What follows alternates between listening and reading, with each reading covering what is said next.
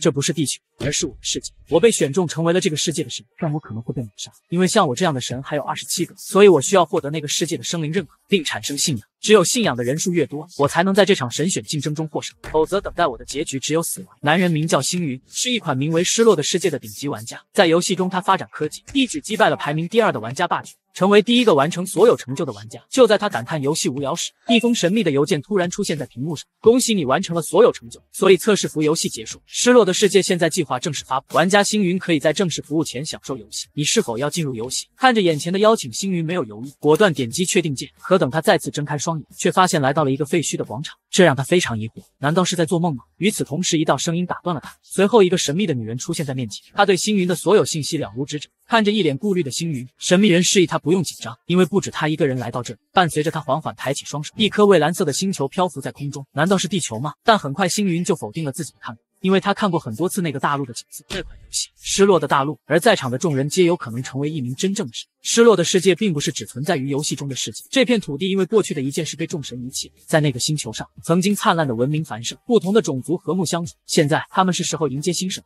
失落的大陆创建的目的，就是为那颗行星寻找合适的新候选者，而它本质上就像游戏中的一样，只要通过努力让原住民产生信仰，你就能成为这个星球上唯一的神。闻此，星云感到不可思议。如果我选择放弃呢？神秘人也做出了解释：如果你现在放弃，你将会回到你的日常生活，并且你失去对这个地方的记忆。一旦加入游戏，就不可以退出，而游戏的结局只有两：消失或成为那个世界的神。解释完规则后，神秘人示意他们有一刻钟的时间考虑。很快，人数就剩下二十七个。星云也猜到了，他们是按游戏的最大人数邀请候选人。随后，神秘人拿出了一份奇怪的卡。这就跟失落的世界一样，选择一个小区域开始你的游戏。而星云作为排行榜的第一位，是第一个选择卡牌的人。在拿到卡牌的同时，他也被传送到游戏的初始。可他却是非常郁闷，没想到作为第一个抽卡的人运气会这么低。原来他抽到了胜率最低的一小块昆虫区域，并且只能控制昆虫一类的东西。说是不幸，但也是幸运的，因为这个位置处于大陆的东部偏远地区，这就意味着这里很少发生战争，让自己有足够的发育时间。从这个意义上说，一场吃昆虫的比赛将是一个很好的起跑剂。比如那些蛙人，但让他困扰的是部落的数量。作为第一个部落很难发掘，因为五百个蛙人的数量太多，并且自己的信仰值只有十点，对这群吃饱喝足的蛙人没有任何影响，所以他必须要找新的对象。很快就发现了一些蜥蜴人，他们也吃昆虫，并且没有水也能在这里生存。经过星云的仔细观察，一个受重伤的年轻蜥蜴人吸引了他。这些是原始部落，想必他是在权力斗争中被赶下台。他越是觉得被这个世界抛弃，越是想改变自己的命运。在这荒凉的地区，连水都是稀缺的，更别说食物。可就在这时，蜥蜴人却变得非常兴奋，因为他们发现了一只受伤的羚羊。年轻力壮的蜥蜴人第一时间冲了过去，而老弱病残的只能等他将肉都吃完，最后分到一小部分。但一些蜥蜴人却认为不应该将食物分给快死亡的家伙。原来就在此前，他们遇到了剑齿克拉克拉，因为保护族群受到了很严重的伤害。对此，族人认为不应该放弃他。画面一转，来到晚上，此刻的蜥蜴人已经全部休息。可就在这时，克拉克拉却被一阵声音吵醒。当他看清，没想到是一只蝴蝶，这让他感到非常奇怪，好像有事在召唤他一样。克拉克拉随即就跟了上去，带他来到山顶，发现了这里有堆积成山的井。他不可置信地看着眼前的一切，难道这就是奇迹吗？在获得食物的恩赐后，星云也受到了蜥蜴人的信任，因为这些甲虫是拯救他们的希望，而他也准备实行下一步计划。另一边的蜥蜴人部落已经承认了是神的旨意，并将他称为无名甲虫神。再给部落获得这么多资源后，克拉克拉在族中的地位也有所提高。就在这时，他再次看到了蝴蝶的指引。但当其他人得知要前往的方向是寒冷的方向时，却开始犹豫了，并打算让克拉克拉换一个方向试试。可他觉得应该要按照蝴蝶的指引，因为这片荒野里什么都没有。与其毫无目的的寻找，倒不如选择跟随神明的指引。而星云则在背后默默的看着，他们现在还缺乏信念，所以他也无法与他们进行干涉。如果他们相信我，他们将体验到一个从未想象过的未来。克拉克拉按照指引的方向，很快就发现了一片沙漠绿洲。他相信是无名甲虫神把他们带到圣地。与此同时，星云的神性等级得到了提升，小区域 bug 级别也增加到了二级，并获得 bug 祝福的加持，这让克拉克拉的能力得到了加强。画面一转，来到晚上，得到升级的星云可以进入他们梦境。星云需要借助克拉克拉帮他打造出自己的形象。随后，一个牛骨头便出现在他的身上，这就是无名甲虫神的样子。第二天，他就宣布了昨天晚上梦到的事情。他们需要猎杀一头野牛，做出甲虫神的样子，但族人似乎不同意他的做法，因为野牛群对他们来说太危险了。克拉克拉也肯定他的看法，所以他打算一个人去。闻此，族人皆是满脸的不可置信。他示意大家不用担心，因为他获得了神的祝福。自己的伤势不仅痊愈，并且力量也得到了提升。伴随他投出标枪，几十米开外的大树被径直洞穿。就在这时，一群野牛群从山下经过。克拉克拉知道这是神明的指引，随即孤身一人冲向牛群，仅仅只是一枪便杀死了一只。见此，其他人纷纷上前帮忙。来到晚上，克拉克拉已经用牛骨做了一个神的形象，并对其进行祭祀，感谢无名甲虫神的馈赠。虽然这是一个草率笨拙的仪式，但他们都是发自内心的真诚，因为星云的信仰值得到了很大的提升。这一切都是值得。原来就在此前，星云用野草将牛群引到山下，以便给他们提供资源。让他没想到的是，他们连小牛也吃了。在这个阶段，很难期望他们掌握与放牧有关的知识和技能。这个绿洲的人口支持度不是很高，最多也就几。在目前的状态下，他们对农业或牧场一无所知，这段时间可能很难度过。单凭他们自己的力量去领悟某些知识，对他们来说还是太困难，因为有规则的限制，又不能直接告诉他们。很快，星云就想到了一个办法，但是需要很长一段时间。画面一转，来到几天后，克拉克拉晚上做了一个奇怪的梦，他看到祭坛摇摇晃晃，好像是在告诉他们有大事情发生。就在他爬上祭坛时，发现远处有一支强大的部落朝他们赶来。从这些人的皮肤颜色推断，他们是克拉克拉以前的族人。更重要的是，他们的首领似乎很强大，因为他骑着一条恐怖的地龙。看看这些人数，似乎整个部落都来了。这也就意味着他们原有的家乡已经被他们啃食殆尽。克拉克拉猜测他们可能是从这里经过，因为他们这个位置需要爬到山顶才能看清。但没想到他们巡逻的小队过于热情，提前暴露了位置，并警告他们不能从这里经过。首领也没想到会有意外的惊喜。看来这几个人有点不太聪明。克拉克拉示意他不用紧张，这也可能是神明的安排。你是说他在考验我们？克拉克拉给予了肯定，也许这不是一个测试，而是一个任务。我认为接受和拯救是我们的使命，毕竟他们和我们是一样的。就在这时，蝴蝶再次出现，这也是神的旨意吗？很难再想得更远了。但我会尽我所能传达你的意志。看着克拉克拉做出的行动，他似乎明白了星云的意思。克拉克拉的部落和蓝皮部落必须联合起来，为了人口增长和技术进步。让星云感到惊奇的是，在没有梦境的指引下，克拉克拉独自做出了这个决定。难道是意志力强的原因吗？因为他的意志力已经达到了十四点。星云感到非常欣慰。克拉克拉如果成长为一个具有高度自我意志的领导者，就可以自主的发展文明，而不是让玩家单独控制一切。他也可以更有效的表达我的意志。面对巡逻队的警告，首领丝毫没有放在眼里，反而是想套出他们的领地有什么。克拉克拉缓缓走来。并告诉有水资源和食物，还有一位神明。这里是无名甲虫神的领地，但首领听不懂他在说什么，随即示意他们赶紧离开这个领地，因为他们有很多的士兵。如果你是一个领导者，你应该知道怎么做。克拉克拉无奈的摇了摇头，我不想和你发起战争。那些失去家园的穷人可以投入神明的怀抱，你们就会获得神明的眷顾。闻此，首领大声嘲笑起来：“你才是那个不知道如何算计的人。”克拉克拉肯定了他的看法，但你不认识神明。下一瞬，地龙便朝他发起了进攻。看着眼前的庞然大物，克拉克拉知道必须要获得神明的祝福。此刻，他正在祈祷着神明能赐予他勇气还有力量。没想到地龙的力量竟如此强大，仅仅只是一击便让他的长矛断裂。首领随即结结结的笑着：“你可以去死了。”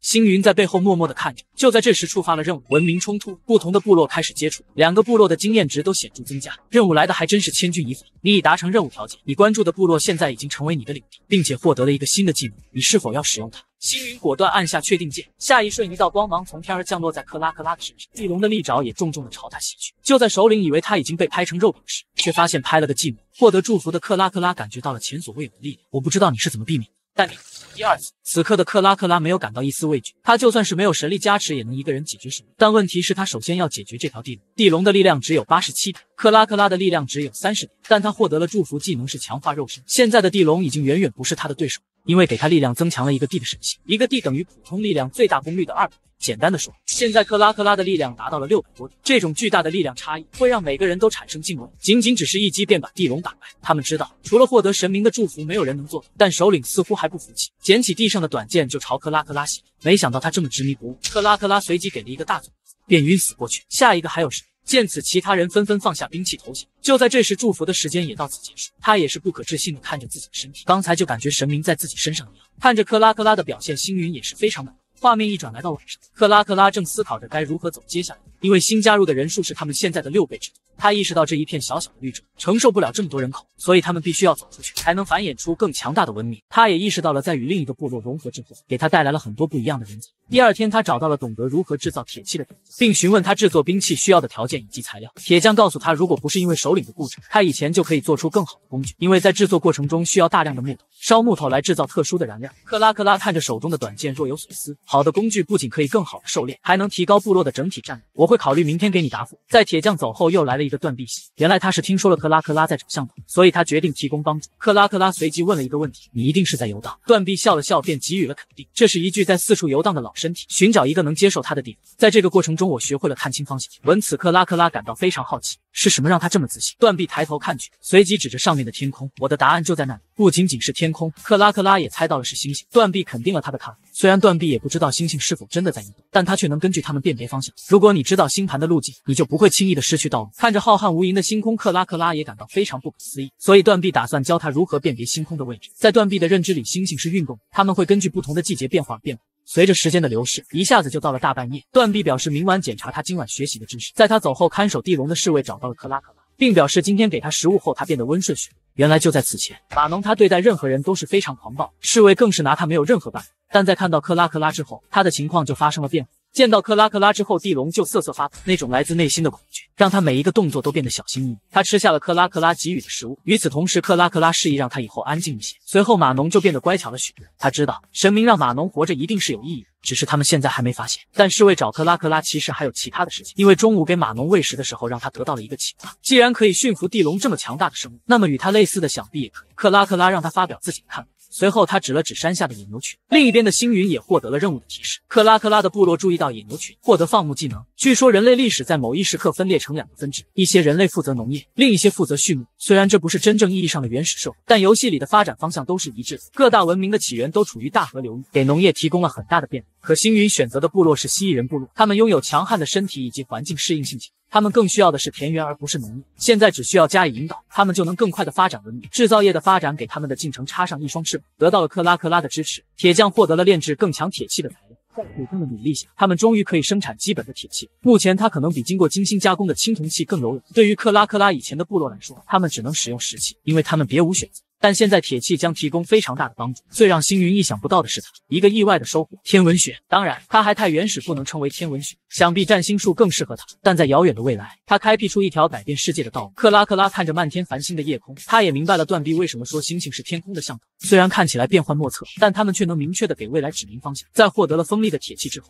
克拉克拉决定让所有人听听他的看法。神明把我们带到这片土地上已经很久了。甚至还让我们看到以前的族人，是神明让我们活下来。但那些被赶出荒野的人，他们会死在荒野里。神明要的是拯救，而不是排斥。我们能活下来，就是为了让更多的人受益，因为这是神明的指示。所以我决定到黎明的时候，我们将离开这里，寻找更多的资源。随后，克拉克拉示意断臂给其他人传授看星星运行的知识，以及他们将要前往的地方。断臂指着太阳升起的地方。黎明之后，当清晨的太阳升起，我们将前往太阳的右侧，连续走十天，然后沿着枯朽的湖泊再向右走十五天，再沿着荒凉的山路和山谷小径走三天，最后我们会找到目的地，那是。一片无边无际的森林，那里有着更多的食物以及资源，我们的部落将会变得更加强大。与此同时，克拉克拉便叫住了优尔，并询问他为什么没有把野牛吃掉。面对克拉克拉的询问，优尔也是非常疑惑，以为是他做错了什么。而优尔慌慌张张地解释道：“当时并不是每个人都在努力捕捉野牛，然而你一个也没吃。”此刻的优尔有点不知所措，因为当时我也没有想那么多，仅仅只是肚子没有感到饥饿。如果我不忍住，我不知道我真的饿的时候能不能吃。我就是这么想。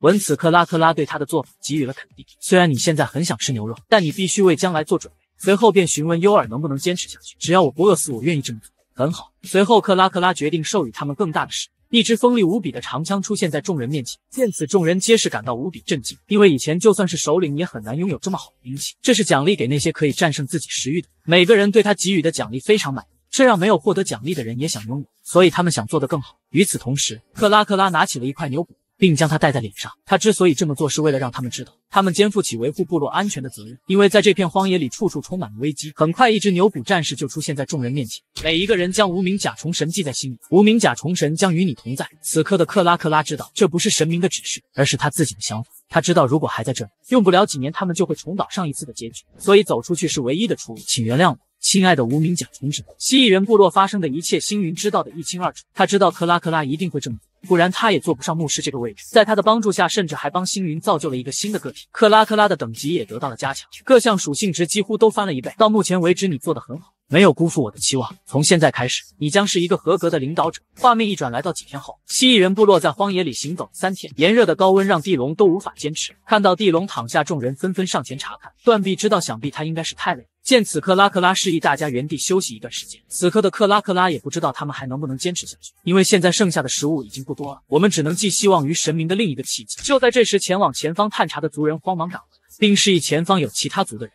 哥布林对离开身后的地方感到非常开心，因为那里住着一个可怕的怪物。可就在这时，他却是突然愣住。一群强大的蜥蜴人出现在他们面前，看着他们手中的精锐兵器，哥布林马上就放下石斧投降。随后交出了身上仅存的食物。我想这是一个误会。我们只是想快点离开那个峡谷，到荒野里找点吃的。克拉克拉也好奇是什么原因迫使他们离开。哥布林首领指着后面的高山，他们以前就住在那里，直到突然出现了一个怪物，而克拉克拉也在担心是什么。因为他出现在他们要前往的方向。星云看着发生的一切，这的确是一个难对付的怪物——巨型大蜈蚣增物。它的各项数值都比蜥蜴人部落的要强，并且拥有两颗巨大的毒牙。失落的世界是这样描述的：他们是消失前的神明创造出来的生物，在众神离开这里后，就把他们留在了星球上。片刻之后，哥哥布林首领便带克拉克拉前往，而克拉克拉也感到震惊，没想到是这么大的怪物。他的一个呼吸就让山体发生剧烈的晃动。哥布林示意他们不用紧张，这是怪物睡觉发出的声音。随后，克拉克拉问道：“如果绕道走要花多少天？”独臂表示至少要八天左右。闻此，克拉克。拉皱了一下眉头，星云看出了他在犹豫，这也是可以理解的。他不知道该怎么办，在连部落成员都害怕的情况下，绕道也是一个不错的决定。你打算怎么做，克拉克拉？就在这时，一旁的卓尔注意到了什么，只见他盯着上方的巨石，很快他就想到了一个杀死蜈蚣的办法。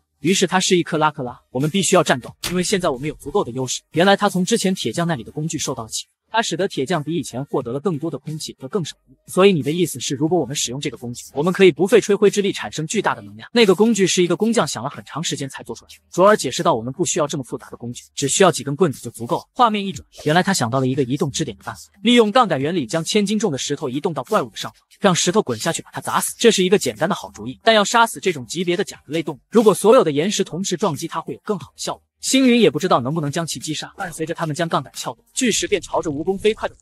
待蜈蚣察觉有异常，巨石已经来到他面前，重重落在他的天灵盖上，却不料三块巨石没能将其杀死，仅仅只是将他的甲壳击碎，并且还把他激怒。见此，克拉克拉示意他们加快速度，将剩下的石头推下去。但星云知道这一切都太迟了，普通人很难把巨石移动。随后，他便给克拉克拉再次降下注。在获得力量的一瞬间，克拉克拉一个人就将巨石顶到了半空，更是凭借肉身的力量把另一块巨石扔下。他知道蜈蚣可能会规避掉巨石的伤害，所以他决定对其进行干扰。只见克拉克拉朝着悬崖一跃而起，不断蓄力手中的长枪，径直朝着怪物的身体部位掷出兵器。受到长枪的干扰后，蜈蚣来不及躲闪上方的巨石，在第一颗击中后，蜈蚣已经丧失了战斗能力，而第二块巨石则给予致命打击。星云对克拉克拉的表现也非常满意。这次的狩猎很成功。与此同时，对话框提示：狩猎怪物，你的部落杀死了令人憎恶的远古甲壳类动物，而星云也获得了狩猎的奖励。他一开始就想抓取这个东西——憎恶的内丹。每个神都有与其领域相适应的资源，虽然他可以通过消耗信仰来创造，但创造不存在的东西，往往需要不寻常的原料。如果我有这种内丹，我就能创造一个生物，而生物是信仰资源生成器，通过他们的存在传播神明的话语。另外，如果把它提升到更高的等级，他就可以获得使徒或化身之类的职业。但不知道的是，他的创建方法是否与之前的游戏相同？而星云该如何处理这颗内丹？另一边的卓尔正打量着眼前的怪物，随后便将他的腿拿下来。如果怪物的肉可以吃，那么将给他们部落带来巨大的补给。经过简单的尝试，卓尔确定这个肉是可以食用，但还需要进行简单的处理，因为它的口感不是很好。就在这时，他注意到了岩石上的香草，如果用香草将它的味道进行覆盖，吃起必然比之前美味。香草经过简单的处理后，果然比之前好吃了许多。就在这时，卓尔询问起了克拉克拉关于继承人的事情，他认为身为部落首领也应该找一个伴。因此，克拉克拉也是顿时愣住。这个问题他现在还没来得及想。随后，卓尔质问他：“如果你从没认真想，那我呢？”就在克拉克拉准备回答时，一旁的黄金色光芒吸引，是一块刻满符文的金属，它应该是从怪物的背上掉下来，而尤尔更是直接砍了起来。独臂示意他这个东西不能吃，这个东西叫黄金。曾经他在外面游荡的生活见到过，据说即使经过很长时间，它的颜色也不会改变或腐烂。对不能吃的金属，尤尔对美味的羚羊更感兴趣。克拉克拉看着手中的黄金板块，思考起来，一切都会死亡、腐烂和消失。世界上没有什么是不变的。这块金杯不会腐烂，也就是说，制作这个金牌的人试图在上面保存一些东西。画面一转，来到晚上，克拉克拉依然是坐在石块上看着金牌，他知道里面肯定记录着重要的秘密。就在这时，一旁的声音吸引了他，只见几只虫子在羚羊上面不断盘旋。好像在告诉他什么，而克拉克拉看出了虫子的动作和这块石碑上的记号痕迹。他按照虫子的提示刻画着金牌上面的符号，很快就发现了其中的秘密。画面一转，来到早上，克拉克拉第一时间与卓尔分享了这件事情。随后，克拉克拉刻画出一个符号，代表的是他，另一个则代表的是卓尔。准确的说，是代表雌性和雄性，在两者之间加一个等于号，代表成为伴侣的意思。而这也是克拉克拉想要说的。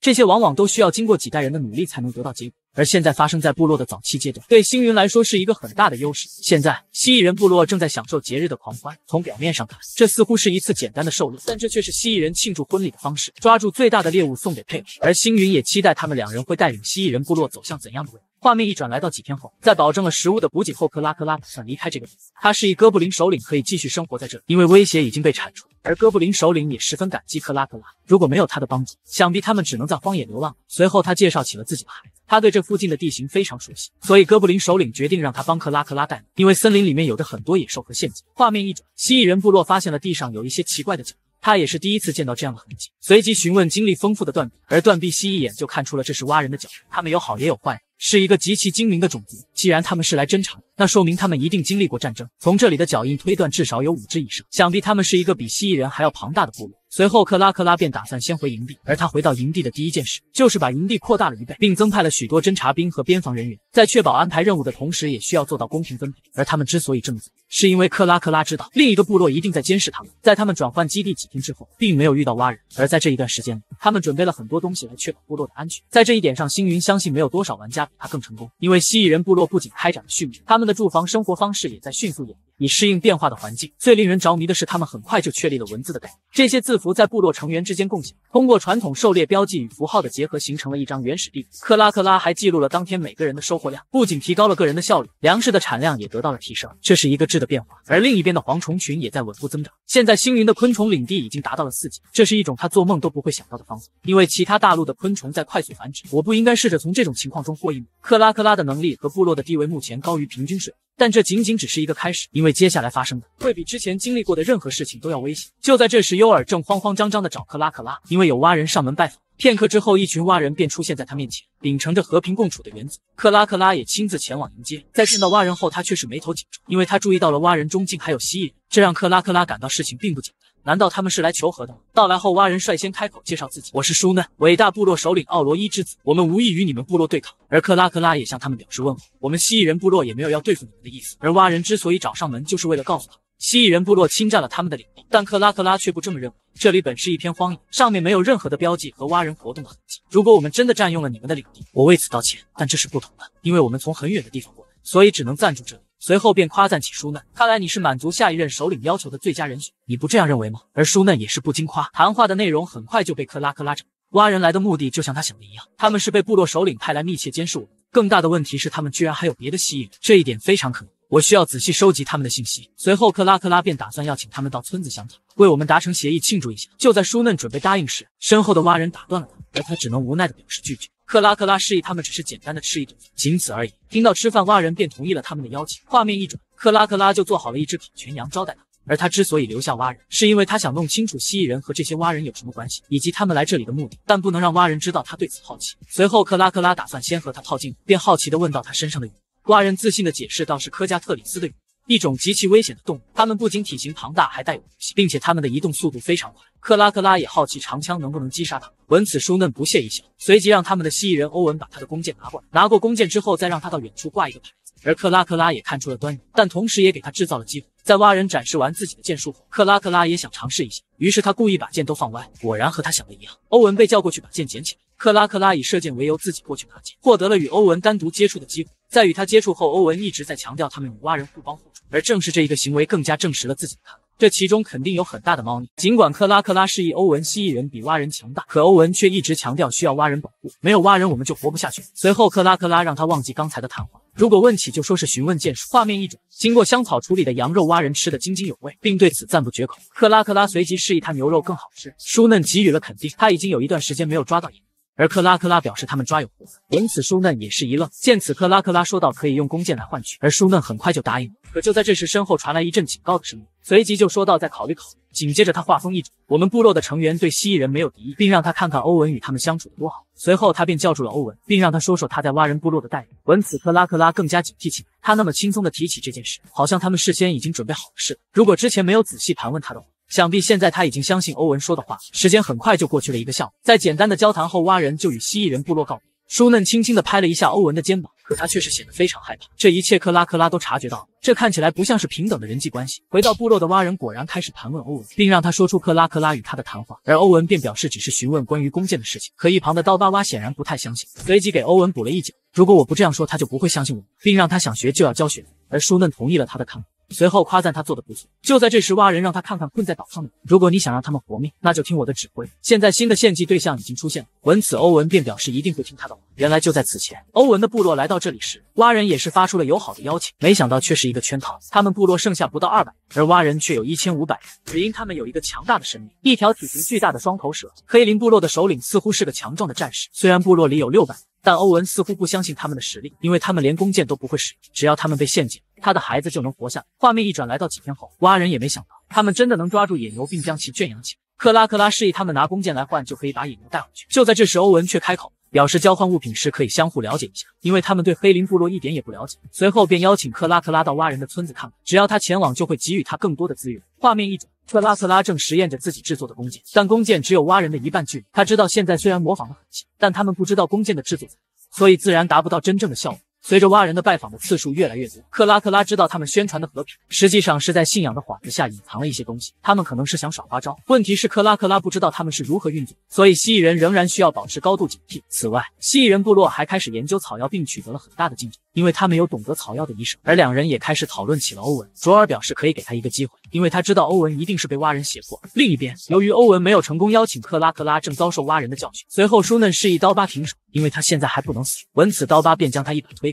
紧接着，蛙人示意欧文要加快进度，因为他们准备提前祭祀，必须抓紧时间把蜥蜴人首领和战士全部邀请到这里，才能将他们一网打尽。而蛙人之所以要提前，是因为他们的族长已经病重。这个本是蛙人之间的秘密，但他觉得告诉欧文也无妨。那是一种浑身发痒的疾病。一开始，白色黏膜开始覆盖皮肤，并且黏膜覆盖的区域会继续扩大，直到蛙人不能呼吸憋死。欧文第一次听说瘙痒是一种致命的疾病，他也好奇舒嫩为什么要告诉，想必是蛙人在考验他。随后他表示不应该让黑林部落的人知道，但舒嫩则示意他顺其自然，因为只是包不住。紧接着，欧文想到了一个办法，那就是跟他们说这个疾病也会传染蜥蜴人。他知道有一些药混一起会使皮肤发痒。闻此，蛙人对他的方案给予了肯定，随即承诺他成功把蜥蜴人首领骗出。就无条件放了他的孩子，所以你应该尽力说服他们。与此同时，欧文有一个要求，那就是可以带一些弓箭过去，因为这样显得更有诚意。尽管蛙人不情愿，但还是同意了他的要求。画面一转，蛙人再次登门拜访，并带来了很多的物资，而蜥蜴人部落则是用草药作为交换。但蛙人示意他们这还远远不够。随后再次提到了和平的信念，而克拉克拉早已猜到他们的目的。就在这时，他提出了只能和欧文单独谈谈的条件。闻此，舒嫩便同意了他的请求。片刻之后，克拉克拉带领欧文来到了另一个地方。不出所料，欧文还是在宣传蛙人对他们非常友好，并希望克拉克拉放下质疑。就在这时，一只蓝色的蝴蝶飞来，随后落在了欧文的头上。克拉克拉随即示意他。我们之间有很多怀疑和猜疑，但这一切该结束了。让我告诉你我们的一切。看着地上画的符号，欧文也好奇是什么。克拉克拉解释道，这些符号他称为字母，它们都有不同的含义。这个符号意味着拒绝或另外的象征着谎言和假。而欧文也好奇它们能不能组合在一起。克拉克拉给予了肯定。如果你把这两个放在一起，那就是不要说谎。换句话说，它也可以表示真实。这让欧文感到非常奇怪。克拉克拉为什么不告诉蛙人，而告诉他？看出欧文心中的疑惑，克拉克拉解释道：“是因为信仰，在我们蜥蜴人部落和青蛙人部落之间，我真正感兴趣的是我和你之间的信仰。”而欧文不情愿地说道：“不用区分蛙人和蜥蜴。”但克拉克拉却打断了他：“因为我从一开始就不相信蛙人的事情，也知道这件事情非常复杂。我们非常了解那些被边缘化和被赶出去。我和你经历过同样的遭遇。”而欧文却变得非常扭捏，他没想到克拉克拉竟能推断出一切。看着欧文的反应，克拉克拉知道他已经动摇了，因为他已经看到了信仰的迹象。画面一转。此刻，舒嫩正夸赞欧文干得不错，因为蜥蜴人部落打算前往他们部落，而刀疤蛙也表示他们非常愚蠢，邀请蛙人参观部落。现在他们已经知道了蜥蜴人部落的大小与真正的实际人数，没想到比探查的少了一倍，只有三百多人而已。这一切多亏了我们的大功臣。随即示意他想要什么，而欧文小声的说道：“只需要放了他的儿子。”但刀疤显然有点不太情愿，因为族长不会同意。舒嫩则让欧文放心：“我会记住你的承诺。”画面一转，来到傍晚，此刻的欧文非常犹豫，要不要帮助黑林部落。克拉克拉看起来很自信，但蛙人的数量太多，并且他们连弓箭都不会使用，更不用说战士们的秘密武器了。他一直在告诉自己不要相信他们，可他内心却是把自己的想法都表现了出来。克拉克拉，你为什么要相信我？我只是一个江湖骗子。画面一转，来到第二天，克拉克拉带着部落的战士来到蛙人部落，舒嫩第一时间出来迎接，并希望两个部落可以友好交流。克拉克拉也给予了肯定，但蜥蜴人部落的人是全副武装来访。他也做出了解释，因为担心途中会遭遇怪物袭击。舒嫩虽然一脸微笑，但是早已预谋好了一切。等宴席的时候，把克拉克拉灌醉，然后再用毒箭将其射杀。就在这时，克拉克拉四处张望，寻找欧文的身影。舒嫩随即示意他在那边准备宴席，而欧文此刻正在地上刻画着什么，想必他是在标注黑林部落战士的位置。随后，克拉克拉叫住了欧文，欧文和往常一样向克拉克拉打招呼，并提醒他，只要黑林部落的战士坐下，蛙人部落的宴会就开始。这是一场有趣的和平交流会议。克拉克拉看着地上的符号，早已经明白了一切。随后，他也给予了肯定，并缓缓戴上牛头面具，示意战士们宴会开始。而战士们早已做好了准备。下一瞬，他们手中的长枪径直洞穿了蛙人的弓箭手，而蛙人也没想到他们这么快动手，一瞬间被蜥蜴人战士打得溃不成军。克拉克拉示意他们一个也别放过。不到片刻，蛙人的刺杀小队就被解决了一大半。剩下的一些落荒而逃。尤尔随即汇报克拉克拉，想必接下来蛙人就会用弓箭进行反击。克拉克拉示意他不用担心，因为他们早已做好了应对之策。与此同时，克拉克拉叫住了欧文，因为还有一件重要的事情只有他才能完成。另一边，此刻的舒嫩已经气急败坏，并问候了欧文全家。他没想到欧文会这么快就叛变。很快，蛙人就集合了另一边的战士，表示蜥蜴人只不过是强弩之末，在数量上远远比不过蛙人，所以只要坚持到增援，胜利还是属于他们的。下一瞬，浸满毒液的弓箭径直朝蜥蜴人袭去，只要他们擦伤一处，就会痛苦的死。然而，他们不知道的是，蜥蜴人早已做好了准备。一支盾牌大军出现在蛙人面前，蛙人的弓箭根本无法伤及到他们分毫。见此，舒嫩顿时呆愣住，没想到所有的弓箭都被盾牌改变了方向，而蜥蜴人打造的盾牌连长枪都无法洞穿，更别说小小的弓箭。舒嫩随即示意他们继续放箭，阻止他们前进。可就在这时，一股奇怪的味道飘来。当他回头看去，没想到烟雾覆盖了大半个天空，而这样会使得他们的弓箭手精准度大大下降。原来这就是克拉克拉交给欧文的任务：偷偷潜入蛙人部落的村子，拯救被困的同伴，并将其房屋点燃。欧文随即示意他们也要加入反抗的队伍，但同伴显然有点不太相信。欧文坚定地告诉他们，这是他们唯一的机会，所以我们必须要相信黑灵部落，他们一定会打败蛙人。当蛙人反应过来，没想到自己家被偷了，他知道是其他的蜥蜴人也跟着叛变，苏嫩只能暂时撤退。但一旁的蛙人战士显然不太懂，因为他们损失了很多战士。可苏嫩不会管这些，心里谩骂道：“你这个蠢！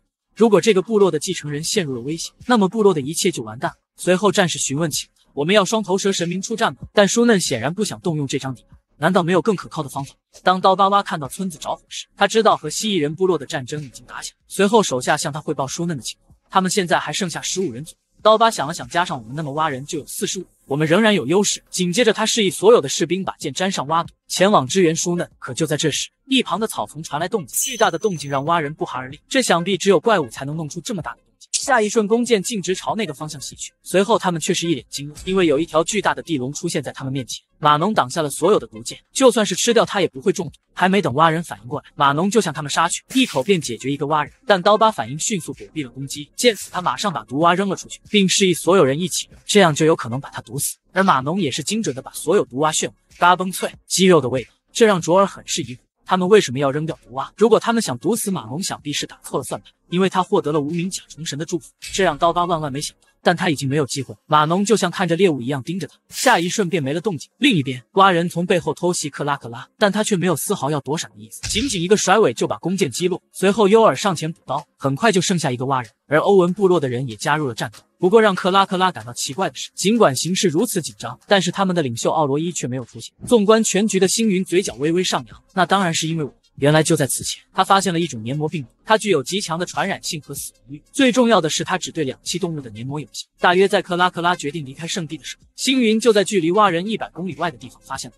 而他能把疾病转移到这里的原因，是这群甲虫的功劳。在星云投下病毒后，他们的首领便消失，而首领却相信用献祭活人能够治病，所以便把蜥蜴人抓了，但对他一点帮助都没有。现在他准备再次把这些小孩献祭给双头蛇时，请求他把所有的蜥蜴人杀光。画面一转。欧文疲惫地找到克拉克拉，看着欧文慌张的样子，便询问他有什么急事。欧文示意他赶紧前往湖中央的小岛，因为他们在用小孩献祭双头蛇神，也许不能治愈他们的病，但是你有足够的力量阻止这一切。闻此，克拉克拉表示需要从长计议，因为他们的人全在岛上。当我们到达小岛时，我们将无法抵抗蛙人的攻击，并且可能会在路上遇水袭击。而欧文恳请克拉克拉帮帮他，因为我的儿子被当成了祭品。下一瞬，克拉克拉眼神变得犀利，十分愤怒的一拳打在他的脸上。这个笨蛋，你应该早点相信我。我不相信这些粗笨的青蛙所信仰的神，我相信我们可以用自己的力量打败他。如果那个神出现并攻击我，我会告诉你怎么碾碎那个神。但是为了救孩子，你不应该早点说吗？克拉克拉也不知道现在该怎么。如果他一早知道舒嫩的意图，他就能想到应对之策。另一边，听到蛙人的召唤，双头蛇出现在他们面前。伟大的神，请惩罚那些黑灵蜥蜴人。欧文从远处观察着，他知道一切都晚了，但克拉克拉觉得我们还有机会。这一次我们没有地形优势，只能面对面和他进行较量。我们可能要做出一些牺牲，才能拯救那些孩子的性命。就在这时，一只蝴蝶从一旁飞过，他随即示意欧文抬头看看。你相信奇迹吗？只见一个庞然大物出现在众人面前。克拉克拉知道是无名甲虫神。在蛙人首领召唤出双头蛇时，他祈求神明帮他处罚黑灵部落。神啊，请收下这份祭品，请把那些黑色蜥蜴人全都杀了吧。可双头蛇并没有理会他，这让他感到非常奇怪，因为如果是平时，从祭品开始他就会贪得无厌。当蛙人抬头看去，却是一脸惊愕，只见后方有一只巨大的螳螂在盯着他们，这到底是什么东西？难道是神明吗？双头蛇在他面前显得多么渺小。感受到威胁的双头蛇发出了警告的声音，原来这是星云创造出来的生物拉蒂斯，用上次获得的增物内丹和信仰值。拉蒂斯看起来就像一个螳螂，但在这个时间段，几乎没有玩家能比我更快的制作创造。与此同同时，双头蛇发起了进攻，锋利的獠牙朝螳螂袭来，但却被拉蒂斯一把抓住。而躲在蛇身下的蛙人只能四处逃散，蛙人族长更是差点被双头蛇碾死。就在这时，蛇的另一个头也发起了攻击，但在螳螂的镰刀面前，双头蛇就如同切菜一样被分成了两半。随后，拉蒂斯发出一阵空旷的声音：“一条小水蛇也敢自称神明？你只不过是一种动物。现在，我将把你献祭给我的主。”帮你赎清你的罪行。伴随着镰刀划过，双头蛇便身首异处，就这样，蛙人信奉的蛇神隐恨西北。拉蒂斯的各项属性足以碾压双头蛇。看到双头蛇被解决，黑林部落传来一阵欢呼声，每个人的心里都在感激无名甲虫神。看着拉蒂斯的表现，星云很是满意。他看起来也很庞大，但却连一小块地方都用不上，因为他可以收藏到召唤空间中，而随机附加拉蒂斯身上的力量技能也不错，大大增强了他的镰刀属性。与此同时，星云再次获得了一颗内丹，他也没想到自己的运气这么好。因为这个内丹可以创建一个领域，星云随即点击了确定键，可消息框却提示他无法使用，因为这里有淡水的原因无法使用该领域。星云只能暂时先放一放，想必有一天能用到。另一边，奥罗伊此刻已然呆愣住，他没想到双头蛇神就这样被打败了，在他面前，所有的蛙族战士变成了不敢站出来的胆小鬼。与此同时，拉蒂斯示意星云，主人的任务已经完成。星云随即表示做得很好，现在你可以回去休息。下一瞬，拉蒂斯便消失在众人面前，一切都安静下来。克拉克拉，你不会坐以待毙吧？蛙人正乘船向上村子驶去，现在岛上已经没有了蛙人。克拉克拉示意众人，今天我们要取得完美的胜利，并询问有没有人愿意带他们到蛙人的村子。而欧文第一个站了出来，我完全可以担任这个任务。就在这时，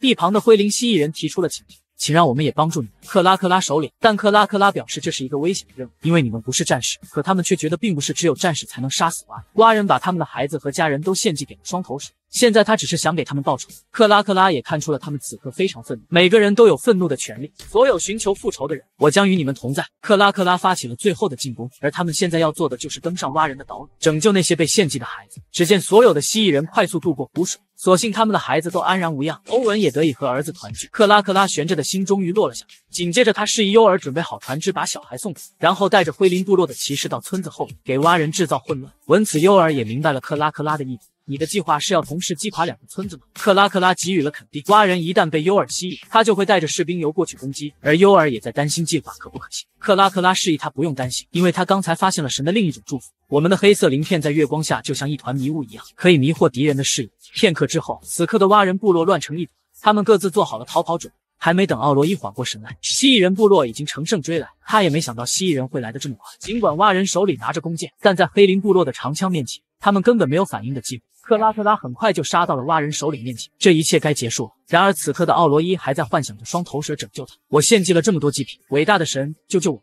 伴随着克拉克拉挥动手中的长枪，奥罗伊罪孽的一生就这样结束了。现在你的神已经没有了。另一边，舒嫩也意识到大势已去。虽然我们人多势众，又有毒弓箭，但没想到黑林部落对毒有耐心，投毒这条路根本行不通。就在舒嫩寻找逃跑的机会时，克拉克拉已经出现在他的身后。原来你躲在这里。见到克拉克拉，舒嫩已经被吓得瘫倒在地。随后，克拉克拉示意他像一个战士一样来一场决斗，拿起你的兵器守护，作为战士最后的名义。可舒嫩却疯狂对克拉克拉磕头认错，并打起了感情牌。念在昔日的情分，能不能放我一马？我也是被父亲威胁。眼看行不通，他表示可以分享弓箭的秘密，可以把弓箭制作的材料告诉我。闻此，克拉克拉来了兴趣，他的材料是什么？舒嫩开心的表示是青金，这让克拉克拉眉头紧皱，随后质疑的问道是什么动物？这让蛙人变得支支吾吾。看他的表现，克拉克拉已经猜到了一切。就在此前，舒嫩在来访蜥蜴人部落的时候就有提到，制作弓箭的材料只有他们才知道，并且表示蜥蜴人很容易获取材料，但蜥蜴人部落试了很多材料都无法完成。克拉克拉现在明白了他之前为什么这么说，他们杀了几百蜥蜴人就是为了这个。随后，克拉克拉把帐营拉开，示意他可以走。我们之间没有恩怨，我答应你提出的交易，走吧，舒嫩。闻此，他没有犹豫，转身就向外跑去。他还开心的以为可以捡回一条命。欧文也非常疑惑，真的要放他走？克拉克拉给予了肯定。我和他之间确实没多少仇恨，但得问问我手上的同胞答不答应。他非常庆幸捡回一条命，不料一支弓箭精准的穿过他的脚掌，蛙人顿时感觉疼痛感袭遍全身，随后重重的摔在了地上。与此同时，灰林部落的人也赶过来。就在他准备再次逃跑时，蜥蜴人果断给予了他致命一击。至此，蛙人与蜥蜴人的战争就此结束。画面一转，来到几天后，在经过多日的练习，克拉克拉的剑术已经愈发精进，并且弓箭也得到了很大的改良。可仍旧有所欠缺，因为虽然用新的材料代替了弓弦，但是稍微多拉一点弧度，弓就会折断。要是有能强化弓臂的材料就好。欧文解释道，在这片森林已经没有比它更坚固的材料。虽然蛙人使用的也是这种材料，但弓箭根本承受不住蜥蜴人的力气。克拉克拉给予了肯定。现在他们不能仅仅仅限于这片森林，因为冬天也快到了。如果想要喂饱饲养的水。就必须让一些人搬到温暖的地方去。欧文也同意了克拉克拉的看法。牛群需要大量的食物才能吃饱，并且寒冷的冬天也不适合小牛的生存。随后，克拉克拉询问起了关于逃跑的蛙人。欧文表示，基本上已经被歼灭。而他在这个过程中也发现了一个神秘的地方。就在欧文准备开口时，一旁的动静打断了两人。卓尔也好奇小孩躲在树后面干什么，随即就凑了上前：“孩子，你在这里做什么？”而卓尔的出现也吓孩子一跳：“你是来找克拉克拉首领吗？”与此同时，掉在地上的东西吸引。卓尔好奇地将其捡起，是一块简易的手工木雕。克拉克拉看出了这是他们的守护神，随后他打量着这个小小的木偶，并对小孩的杰作给予了肯定。你已经把它做得很漂亮了。听到克拉克拉的夸赞，小孩也十分的开心。这是送给我们伟大首领的礼物。欧文也示意他安心收下。村子里的孩子都喜欢制作这种手工品，并进行交换。卓尔也好奇地问道：“村子里很多这样的东西？”小孩点了点头，因为是守护者救了他们，所以他是所有小孩的偶像。克拉克拉也觉得这个做法不错，并示意欧文可以多制作一些出来。我们每个人都需要记住伟大的守护者。就在这时，克拉克拉想起刚才欧文还未说完的话。原来欧文在追击挖人的过程中，发现一个神秘的洞穴。闻此，克拉克拉也非常好奇，随即让欧文带领他们前往。片刻之后，一个山洞出现在众人面前。蛙人藏在这里后就被一网打尽。欧文觉得这里很神秘，所以他觉得其中应该隐藏了秘密。克拉克拉见到神秘的图案，也顿时一惊。他也好奇这种坚硬的石头是如何雕刻的这么精致，并且还惊奇地发现图案和昆虫背后的痕迹。只有在纵观全局的星云知道，这是一个远古遗迹。古代遗迹种类繁多，在废墟中可以获得古老的知识，也可以发现奇迹。其中有些物品具有重要的功能，甚至有些遗迹则能产生魔法。因为遗迹中的特殊资源或神秘祝福的遗迹，一般都是被固定在某个特殊地位的位置。蜥蜴人部落目前文明程度还很低，对于游牧的蜥蜴人部落来说，它的价值就没那么高了。尽管它的概率很低，星云也希望它不要是魔法遗迹。伴随着克拉克拉推开石。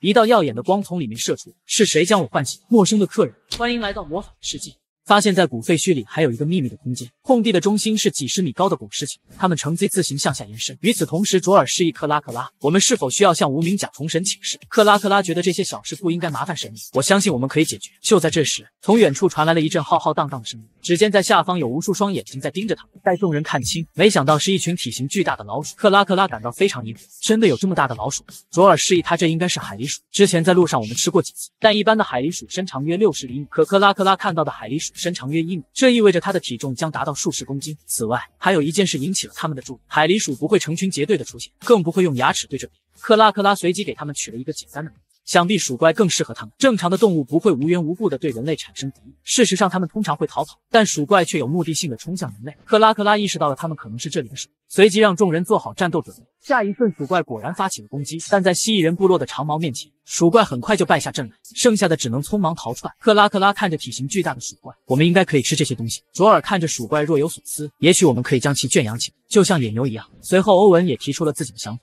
如果可以，我认为养鱼也是可能。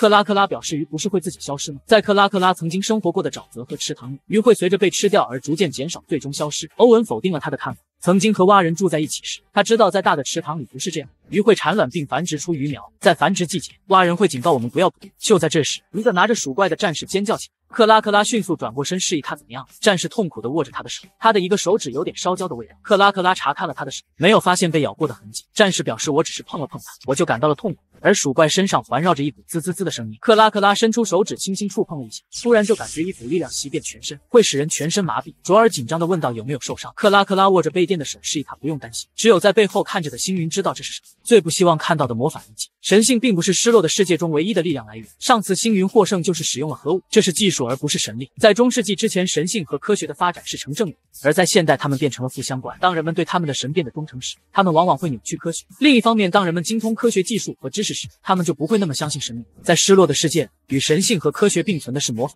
魔法与神性也成负相关。但与科学不同的是，魔法与神性的负相关从一开始就存在，这是因为魔法有它自己的力量。在古代，任何使用强大魔法的人或物都是不可阻挡。那些拥有魔法的人会被视为神，因此那些人不会相信神明。随着现代科学的发展，魔法力量自然开始减弱和衰落。但并非所有的魔法会与神性对立，因为星云曾经也用魔法取得了几次胜利。所以，想要获得游戏胜利，重要的是不仅要利用神性，还要平衡科学和魔法。星云很清楚这些规则，如果有必要时，他会使用魔法。但让星云没想到的是，会这么快就获得接触魔法的机会。经过星云查看的消息显示，这是一个恶魔魔法遗迹，它会赋予个体学习魔法。这种影响不仅适用于取得成就的个人，特别是像克拉克拉氏族这样的氏族社会，氏族的所有成员都可以获得恶魔魔法，但这也是最危险的部分，因为他们的魔法传给后代，而魔法会一代一代的变得越来越强大，直到最后诞生一个强大的法师。最重要的是，因为法师的力量来源是古代的恶魔，而不是神明的信仰。这就是为什么神性和魔法会发生冲突。根据统计数据显示，魔法确实有较低的胜率，因为新手会被成长起来的法师推翻。但与纯神或神魔混合相比，它仍然处于较高的一面。与此同时，一个类似魔鬼鱼的不明生物出现在克拉克拉面前，访问者：“你想拥有那种力量吗？如果你愿意，我可以给你。”但克拉克拉并没有对其理会。一旁的卓尔示意他现在状态不好，还是要回去做好万全准备。克拉克拉同意了他的看法。随后表示用长矛将鼠怪带回去，而他也注意到只有自己能看得见这个生物。魔鬼鱼表示他是守护这个地方的精灵，只有力量强大的人才能看见。你只需要在心里想我，就能听到你的对话。克拉克拉随即问道：“刚才说的力量是什么？不愧是古代遗迹的精灵，一下子就把克拉克拉带进去了。”星云也在犹豫要不要给克拉克拉提个醒。如果星云不提醒他，以他的性格，他会走到补废墟的尽头。但星云最终决定不警告，因为当他再次检查克拉克拉的数据时，他发现了一个独特的属性——骗术。可以辨别他人的欺骗行为并提高警惕。他很可能是在克拉克拉击败蛙人部落时出现的。如果他有这种能力，就让他去做，因为有一种方法可以同时获得神性和魔法，不会受到惩罚。所以星云决定等着看会发生什么。此刻的魔鬼鱼正解释着刚才的力量，它的名字叫做雷电，能融化生物，闪烁太阳般的光芒的力量，我可以给你。闻此，克拉克拉给予了感谢。如果你肯给我，我很乐意收下。而魔鬼鱼则是话锋一转，想要获得它是有条件的。闻此，克拉克拉随即把头一扭，刚才我怎么没听说有条件？见此，魔鬼鱼开始慌起来。紧接着表示条件很简单，只需要你有力量就可。克拉克拉皱起了眉头。当你开始交易时，首先说明交易条件。你需要确保传达出你能给我什么，以及你想从我这里得到什么。害怕克拉克拉就此离开，魔鬼鱼连连表示抱歉。克拉克拉随后示意他条件是什么。如果你还隐瞒什么，就不会再有下次对话。随后克拉克拉便询问获得力量的条件是什么。精灵离克拉克拉更近，因为他的能量在慢慢减少。我被封在这废墟里，这让克拉克拉很是疑惑。紧接着，精灵解释道：“我可以在这个空间里自由飞行，但无法离开这里。只有从这种束缚中解脱出来，我才能恢复自由。”克拉克拉询问道：“要做什么才能破解封印？”很简单，只需要你将下面看守我封印的生物解决，你就会获得力量。而克拉克拉也好奇，力量是不是指那些鼠怪所拥有？看到克拉克拉感兴趣的样子，精灵给予了肯定。当然，但他们身上的电力微乎其微，你可以通过不断的使用它来训练这种力量，它会变得更强，甚至能让天空降下雷电。成长的力量可以与神匹敌。除了你自己，你家族里的其他人也会得到力量。虽然你在力量上的成就不会传承下去，但和你有血缘关系的后代不断训练，他们可能会变得比你更加强大。闻此，刻拉克拉感到震惊不已。但为什么拥有这么强大的力量，你还是被困在这里？这是因为我的力量太强大。人们远离危险的物品，如果他们不能远离，他们就会把它束缚起来。克拉克拉的脸变硬起来。你知道为什么吗？刚才你自己表明了自己是危险的存在。克拉克拉气喘吁吁地说道：“你在隐瞒什么？或者拥有这种权利的坏处大于好处？不要再说谎了！我警告你，我现在就可以回去把这个山洞的入口堵，让任何人永远都找不到这个遗址，并警示我部落的所有后代永远不要进入。”精灵一下子就陷入了恐慌状态。星云看出了他的智商并没有那么高，然而对于进入恶魔废墟的人来说，要抵挡住精灵的诱惑并不容易。不出所料，克拉克拉之所以这样做。是因为他获得了新的能力。随后，魔鬼鱼缓缓道出：“在遥远的过去，我是统治过这个世界的存在。我起源于一个古老的恶魔，我们的存在早已被人遗忘，就连诸神也不记得他们。我也想不起我的出身。当我恢复意识后，就发现自己被困在这里。”闻此，克拉克拉表示：“你也是一个可怜之人。”紧接着，精灵说道：“一种来路不明的力量很容易让人陷入其中，因为来源不明，这让人们相信力量只属于他们，而实际上他们只是碰巧得到的。一旦他们开始这样想，他们就会看不起那些没有能力。”克拉克拉觉得有点难以理解，但还是点了点头。想必之前的兰陵首领和奥罗伊就是那样的情况，恶魔魔法也会让人变成那样，对吧？精灵对克拉克拉的看法给予了肯定，但我的力量是没有好坏之分的。拥有力量的人只是偶然决定。克拉克拉试图预测，如果他获得这种能力会发生什么。这种恶魔的力量似乎不同于神明给的东西，神的力量只赐予神选择的人，并由神决定。相反，如果一个人不配拥有这样的力量，其他人就会嫉妒和羡慕。如果权力越来越大，就会有人蔑视神明。克拉克拉明白了为什么他是危险。但这种力量绝对是强大而有吸引力，并且也能提高部落的整体战力。如果能将力量加以条件限制，那它将有利于部落的发展。随后，克拉克拉同意了精灵的请求，但是有几个条件。虽然力量在无差别的扩散，但如果有需要，一个人也可以通过仪式拥有力量。如果这两件事都是真的，那么是不是也可以不把力量无差别的分配，而是分配给某些被选中的人？精灵点了点头。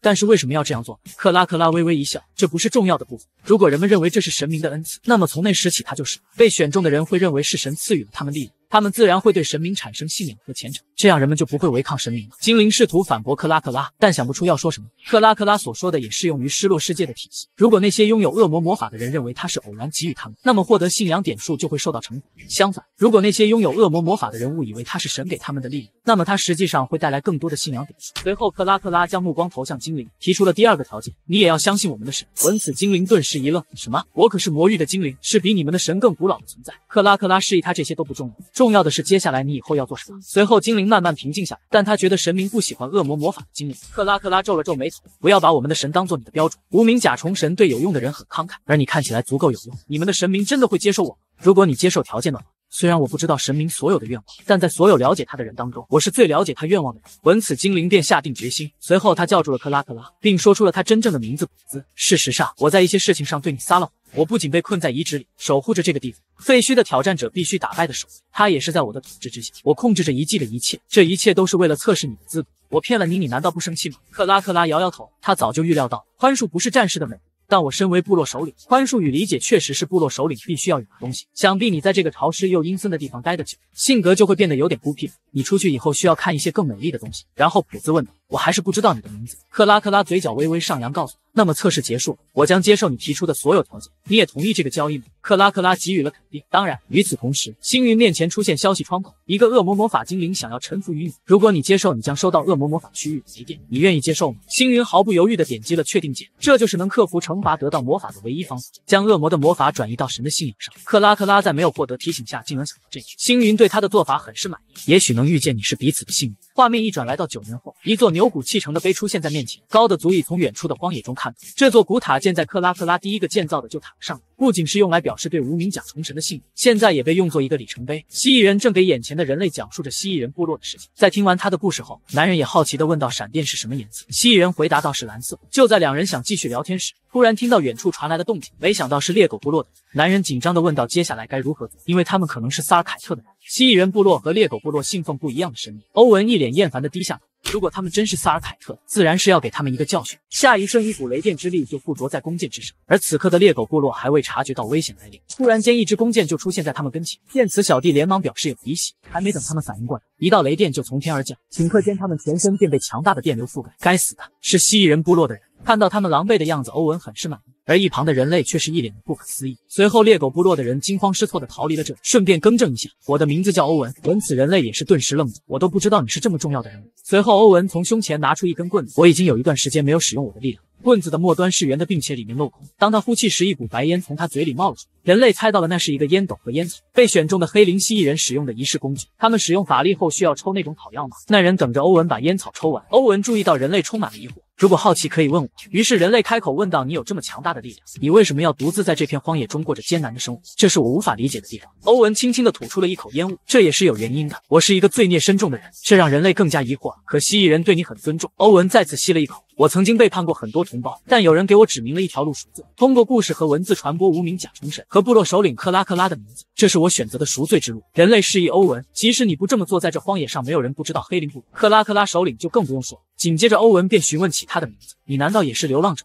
人类抓了抓自己的胡子：“我不是流浪汉，我来自自动城。自动城是一个孤立的山谷，位于荒野的西南端。自动城也是猎狗部落和黑灵蜥蜴人密切关注的所以你是自动城领域的使者。”人类给予了肯定：“我要去拜访黑灵蜥蜴人。”转达自动城之王的话，欧文对此感到非常抱歉。原来是我们的客人。与此同时，欧文吹响一声口哨，随后从远处跑来了一只两米五高的鸡头怪。人类见此大惊失色，难道是科加特里斯？欧文否定了他的看法。这是科加特里斯和鸡的杂交品种，这可把人类看得一愣。他不知道蜥蜴人部落是如何做到，而欧文决定亲自带他去见克拉克拉首领。但作为回报，你得全程听我讲故事。画面一转，只见一支浩浩荡荡的蜥蜴人军队正朝前方走去，而领头正是他们的首领克拉克拉。随后，一个跑腿的男孩朝克拉克拉说道：“如。”独臂老者说他的生命危在旦夕。闻此，克拉克拉一下子变得紧张起来，他还有很多话要跟克拉克拉首领交谈。于是，克拉克拉示意队伍就地扎营。随着克拉克拉的喊声，在其他队伍中间的每个蜥蜴人战士都向所有其他蜥蜴人重复他们。看着一脸心事的克拉克拉，卓尔示意他遇到了什么事情。随后，克拉克拉告诉了他关于独臂的情况。卓尔也感到非常难过，这注定是一个悲伤的夜晚。老蜥蜴人为克拉克拉和黑灵蜥蜴人做了很多事，人们给他起了很多名字：长者、独臂蜥蜴人、向导。还有捕星人，他通常被部落成员称为长老。片刻之后，克拉克拉来到独臂蜥的帐营，并询问着他的情况。大夫感到非常抱歉，我已经尽了最大的努力。独臂迷迷糊糊的张开眼睛，我很累。我想起来，我做了很多很多的事情。我去过很多地方学习，因为我少了一条手臂，以至于我流浪了很久，直到遇到了首领。独臂示意克拉克拉不必难过，每个蜥蜴人都会有这一天。克拉克拉缓缓坐在床前，所以我决定在我的最后一次旅行中奢侈一下。我决定偷走部落里最忙的人的时间，时间很宝贵，不是吗？克拉克拉笑了笑，这是有趣的话题，但我不认为这是你最后一个玩笑。随后，独臂意味深长地问道：“我要问一个只有你才有资格回答的问题。我们死去了，我会发生什么？”下一瞬，一股雷电之力就附着在弓箭之上，而此刻的猎狗部落还未察觉到危险来临。突然间，一支弓箭就出现在他们跟前。见此，小弟连忙表示有敌喜。还没等他们反应过来，一道雷电就从天而降，顷刻间，他们全身便被强大的电流覆盖。该死的，是蜥蜴人部落的人！看到他们狼狈的样子，欧文很是满意。而一旁的人类却是一脸的不可思议。随后，猎狗部落的人惊慌失措的逃离了这里。顺便更正一下，我的名字叫欧文。闻此，人类也是顿时愣住，我都不知道你是这么重要的人物。随后，欧文从胸前拿出一根棍子，我已经有一段时间没有使用我的力量。棍子的末端是圆的，并且里面镂空。当他呼气时，一股白烟从他嘴里冒了出来。人类猜到了那是一个烟斗和烟草，被选中的黑灵蜥蜴人使用的仪式工具。他们使用法力后需要抽那种草药吗？那人等着欧文把烟草抽完。欧文注意到人类充满了疑惑。如果好奇可以问我。于是人类开口问道：“你有这么强大的力量，你为什么要独自在这片荒野中过着艰难的生活？这是我无法理解的地方。”欧文轻轻地吐出了一口烟雾，这也是有原因的。我是一个罪孽深重的人，这让人类更加疑惑。可蜥蜴人对你很尊重。欧文再次吸了一口。我曾经背叛过很多同胞，但有人给我指明了一条路赎罪，通过故事和文字传播无名甲虫神和部落首领克拉克拉的名字，这是我选择的赎罪之路。人类示意欧文，即使你不这么做，在这荒野上没有人不知道黑灵部克拉克拉首领就更不用说了。紧接着，欧文便询问起他的名字：“你难道也是流浪者？”人类抓了抓自己的胡子：“我不是流浪汉，我来自自动城。自动城是一个孤立的商人，位于荒野的西南端。自动城也是猎狗部落和黑灵蜥蜴人密切关注的所以你是自动城领域的使者。”人类给予了肯定：“我要去拜访黑灵蜥蜴人。”转达自动城之王的话，欧文对此感到非常抱歉。原来是我们的客人。与此同时，欧文吹响一声口哨，随后从远处跑来了一只两米五高的鸡头怪。人类见此大惊失色，难道是科加特里斯？欧文否定了他的看法，这是科加特里斯和鸡的杂交品种，这可把人类看得一愣。他不知道蜥蜴人部落是如何做到的，而欧文决定亲自带他去见克拉克拉首领。但作为回报，你得全程听我讲故事。画面一转，只见一支浩浩荡荡的蜥蜴人军队正朝前方走去，而领头正是他们的首领克拉克拉。随后，一个跑腿的男孩朝克拉克拉说道：“独臂老者说他的。”生命危在旦夕。闻此，克拉克拉一下子变得紧张起来，他还有很多话要跟克拉克拉首领交谈。于是，克拉克拉示意队伍就地扎营。随着克拉克拉的喊声，在其他队伍中间的每个蜥蜴人战士都向所有其他蜥蜴人重复他们。看着一脸心事的克拉克拉，卓尔示意他遇到了什么事情。随后，克拉克拉告诉了他关于独臂的情况。卓尔也感到非常难过，这注定是一个悲伤的夜晚。老蜥蜴人为克拉克拉和黑灵蜥蜴人做了很多事，人们给他起了很多名字：长者、独臂蜥蜴人、向导。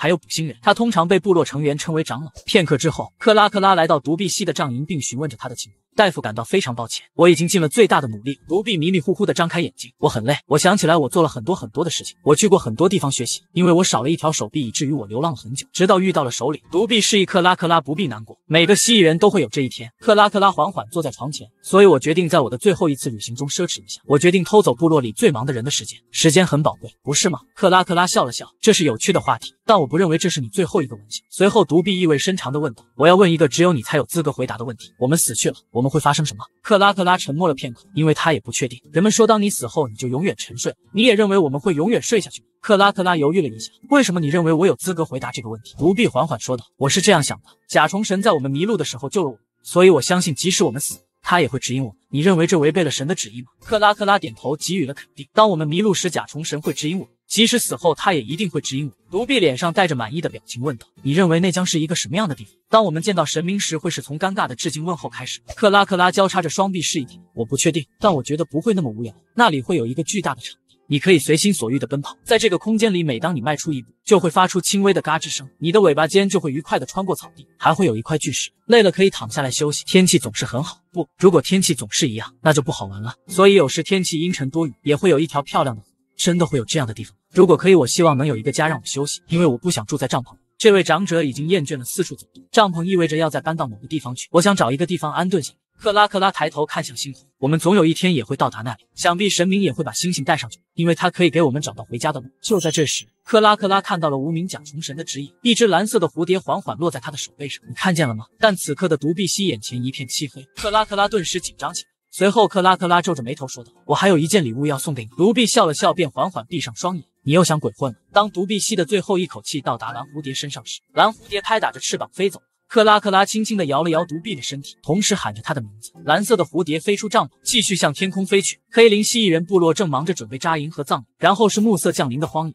最后蓝蝴蝶落在了另一只手的背上。当你死在失落的世界里，会发生什么？星云很清楚那个答案。创造死后世界的条件已经完成，你是否要创建？星云果断点击了确定键。在等级、资源、信仰达到条件的情况下，玩家就可以提升自己的级别。这个阶段可以称之为半神，并且可以创建自己的小世界。死后的世界是一个非常重要的元素，只要结合精心设计的世界观，玩家获胜的几率就会增加。天堂的概念与地狱一起使用也是很常见的。如果地狱是死后唯一的归宿，那就没有理由相信神明了。惩罚应该与奖励相辅相成，它可以传递出维护道德和伦理的信息。也许它能成为一个战士的训练场，因为在死后世界受过训练的灵魂也有可能会被送回地面。但现在玩家很难利用灵魂所拥有的知识或力量，因为这需要消耗大量的信仰点数。可随着游戏进入后期阶段，灵魂将变得对玩家非常有帮助。然而，没有必要从一开始就急于求成，许多事情仍处于起步阶段。此刻，星云正在思考如何扩展那个小世界，随后给它命名为原始草原。紧接着，打开了他的仓库窗口，把所有的灵魂都分散到了草原。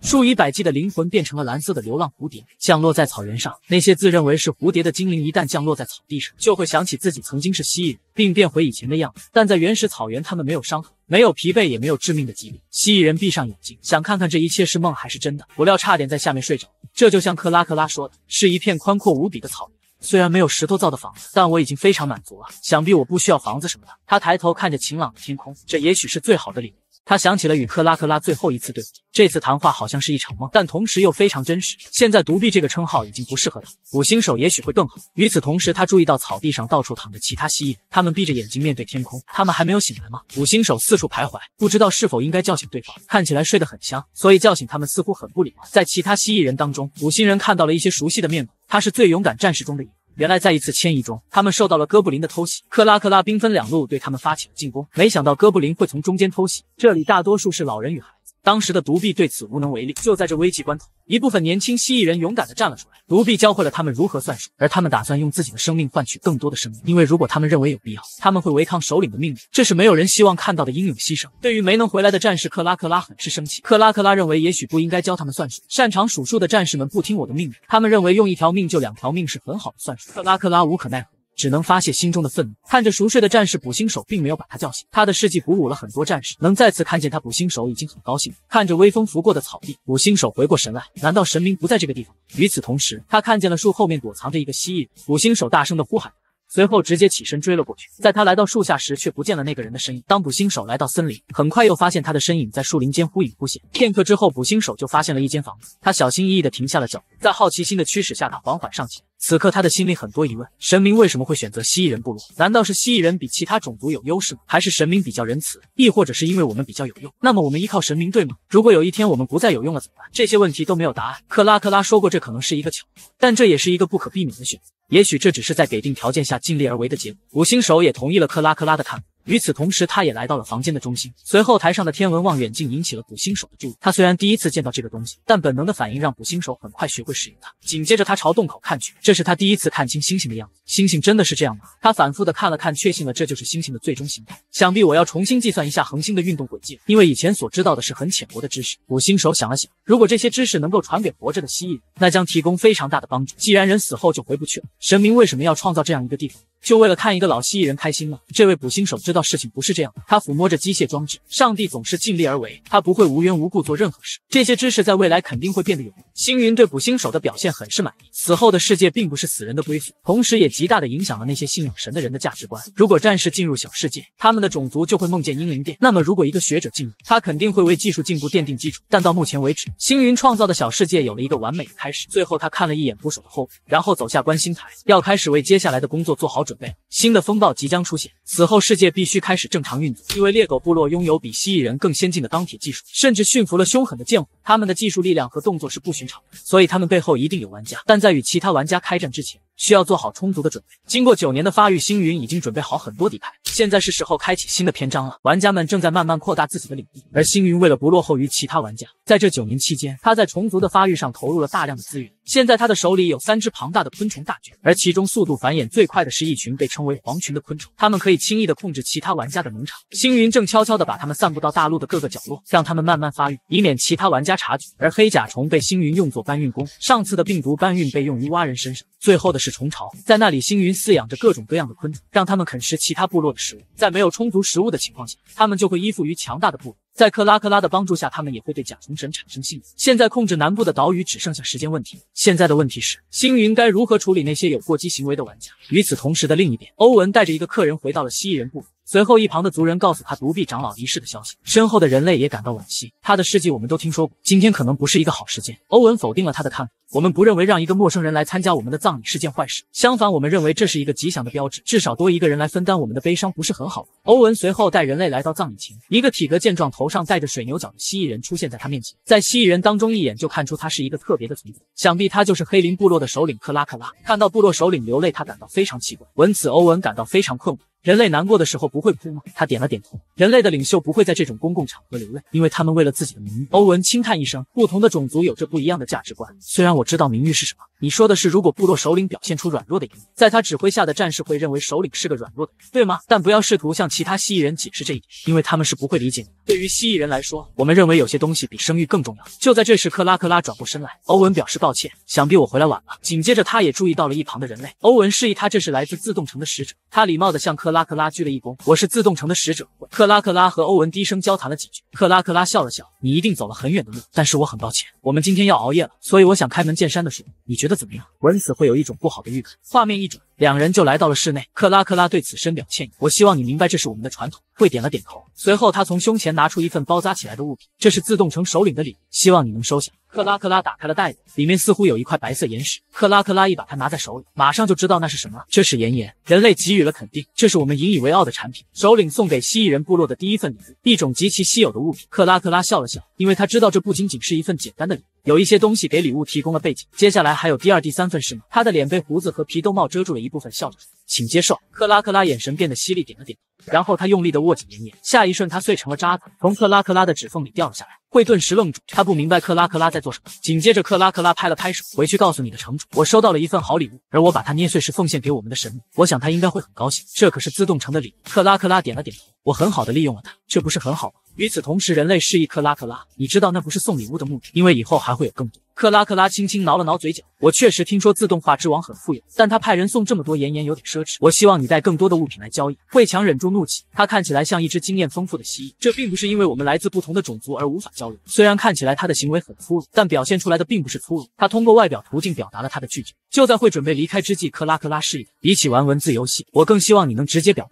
会侧着脸问道：“你肯定明白这个提议？那你为什么拒绝？”克拉克拉交叉着手臂，举起一根手指。首先，我不喜欢接受别人拒绝的提议，因为我不喜欢捡废品。如果别人曾经拒绝过你，那不是因为这个提议毫无价值吗？会不明白克拉克拉在说什么？这可是自动城主给予你的礼物。克拉克拉打断了他：“你真的认为欧文碰巧遇到，然后把你带到这里，是因为你运气好？”原来欧文早就猜到了会的目的，因为自动城的方向在西方，而他是从北方过来。北方是猎狗部落所在的地方，也就是说，你已经向他们提出了同样的建议，然后被拒绝了。会听着克拉克拉的话，一句话也没说。自动城是一座古老的遗迹，一般人很难找到它的位置。它的墙体有五米多高，并且有泥冰给城墙自动修复，也是失落世界的真正奇迹。此外，还有地理优势，它位于通往大陆的绝佳位置，这就是自动城寻求保护的原因。城中有丰富的盐矿和食物资源。面对默不作声的会。克拉克拉笑了笑，因为他知道会的身份不是使者，而是自动城的城主。像你这样隐藏身份的人送礼，我不能接受。你也好奇我是如何得到这个结论的？第一点就是你透露的名字。想知道蜥蜴人对你们自动城了解多少？即使在自动城堡里，也很少有人知道你的名字和长相。对于他们来说，很少人知道这件事情。凡与城主有血缘的人，名字里都有“惠”字。我听说你有四个儿子，三个女儿。从你手上的皱纹来看，对于人类来说，你也不年轻了。所以克拉克拉推断出了他真正的身份——自动城城主慧玄。闻此，慧玄对克拉克拉很是满意。随后，他缓缓摘掉帽子。没错。我就是自动城的城主。紧接着，他缓缓坐到地上。其实我们可以免费给你提供盐盐。克拉克拉摇了摇头，天下不会有免费的午餐，即使是贪婪的猎狗部落也拒绝了。证明了他们有很强的洞察力。如果我们接受了，就必须要保护自动城。当你们遭受到敌人攻击时，因为我们会对盐矿产生焦虑，这不就是你的本意吗？慧璇小心翼翼地解释道：“这就是所谓的外交。”但让他好奇的是，这明明对蜥蜴人部落有好处，克拉克拉为什么要拒绝？克拉克拉笑了笑：“我相信你已经从别人那里听到了同样的答案。我们为什么不占领自动城？那样里面的所有资源不都是我们的吗？”闻此，慧玄顿时一愣，他抑制住自己的愤怒：“蜥蜴人部落也要攻击我们了吗？”克拉克拉否定了他的看法。这只是对蜥蜴部落有利的做法，因为外交没有任何好处。慧玄皱了皱眉头，不要小看了自动城，但对于蜥蜴人来说，即使是受到一点小小的伤害，他们也能拿下自动城，因为他们有甲虫神。那些围墙对他来说如同碎片。现在他们的城主也在这里。慧玄笑了笑，他知道克拉克拉是不会杀他。如果他现在死了，自动城会选出新的继承者，这让克拉克拉很是疑惑。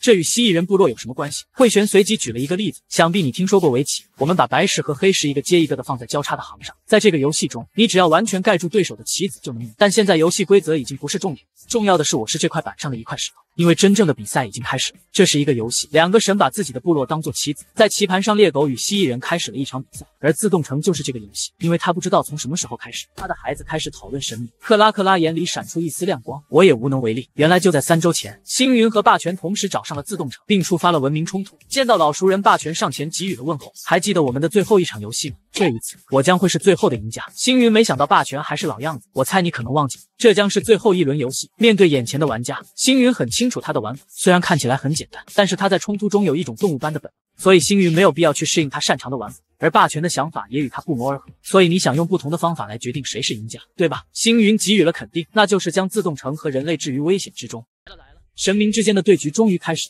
矛盾预言，他们需要从五位候选人之间选出继承者，并对他们发起矛盾考验。而玩家的第一次对局会鹿死谁手。所谓预言，是神性等级达到六或更高时才能使用的技能，这就像是玩家给自己的任务。由于消耗了投入预言的神性经验值减少，如果运气不好，就会受到惩罚或发生负面事件。而矛盾预言来源于一个故事，矛盾预言是指两名玩家做出的预言相互矛盾。例如，玩家甲和玩家乙会对个体 C 进行预言，玩家甲会预言 C 将在三天内死亡。而玩家乙会预言 C 在三天后仍然活着，玩家 A 会在接下来的三天内尽力杀死 C，而玩家 B 则会想尽一切办法保护 C 不死。这样，只有玩家或玩家 B 中的一个会实现自己的预言，另一个则会失败。这样，一个人会得到奖励，另一个则会受到惩罚。霸权对这个矛盾玩法很是满。而他们眼下正有一个发起矛盾玩法的机，因为自动城主在选择他的继承人，而两人也好奇谁会成为新一任城主。经过两人对自动城的讨论，他们得知了自动城主现在有五个孩子，也就是说，如果星云和霸权选择不同的人，并预测他们将成为下一个自动城的主，那么他们的预言肯定会互相矛盾。但星云对他们的性格不是很了解，紧接着霸权便把他们详细资料分享给了星云。第一个是大儿子丹。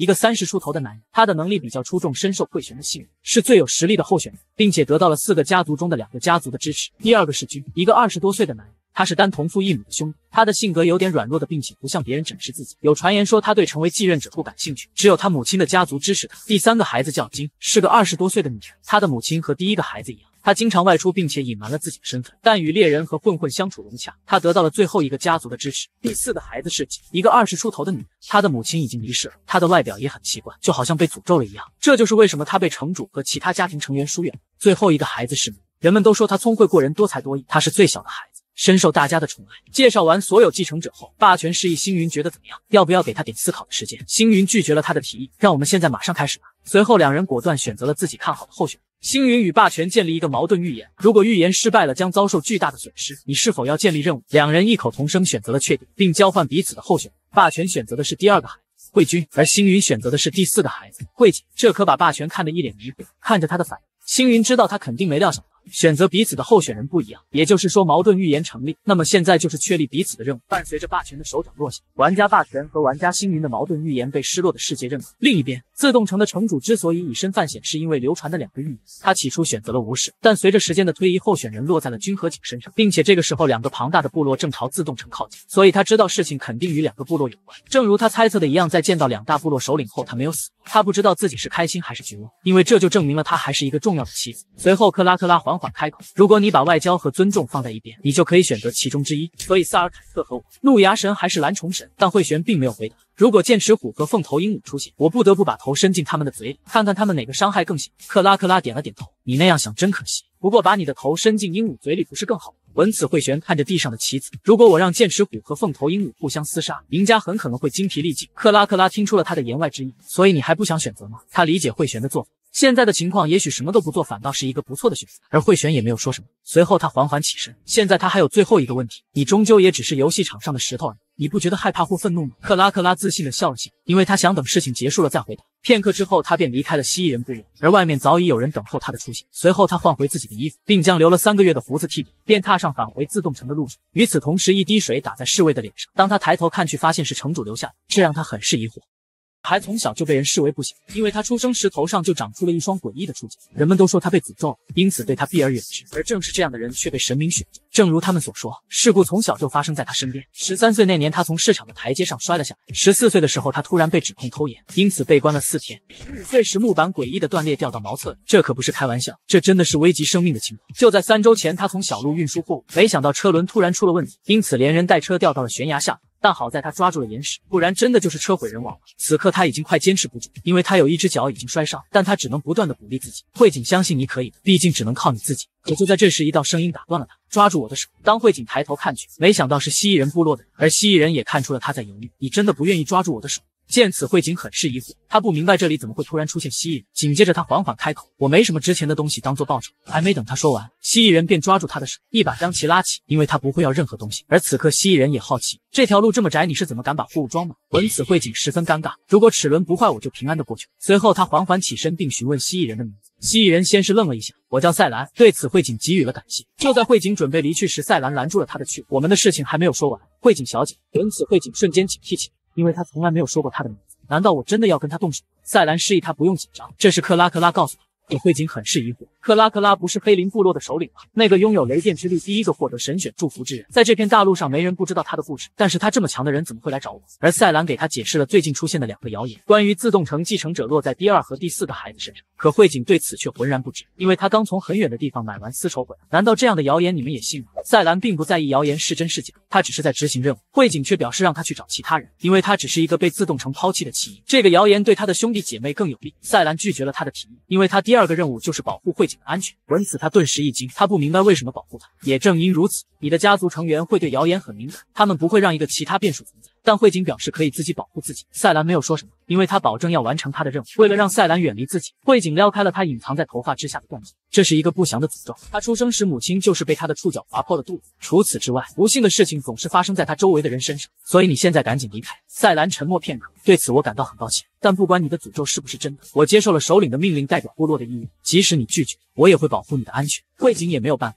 因为他知道恐吓已经说服不了他，无奈的是自己也打不过强壮的蜥蜴人，但有一个帮手也不是一件坏事。紧接着他便表示要下去拿他的丝绸，而赛兰一眼就识破他的小心思。你的腿已经受伤，只要你开口，我就可以帮你。闻此，慧景一下子泛起了泡泡茶壶，因为这是第一次有人提议要帮他，请帮我把丝绸拿上来好吗？赛兰笑了笑，愿意为你效劳。很快，两人便踏上返回自动城的道路，而慧景也很疑惑蜥蜴人是如何知道他行踪的。原来赛兰知道了慧景用一个叫芒基的名字与他人做生意，但慧景感到很奇怪，他的合伙人怎么会这么轻易就抛售他的信息？原来赛兰用了一袋盐菜花并且他们还告诉赛兰，芒基借了一辆手推车没有还回来，所以他们觉得自己被骗了，因此便毫不犹豫地告诉。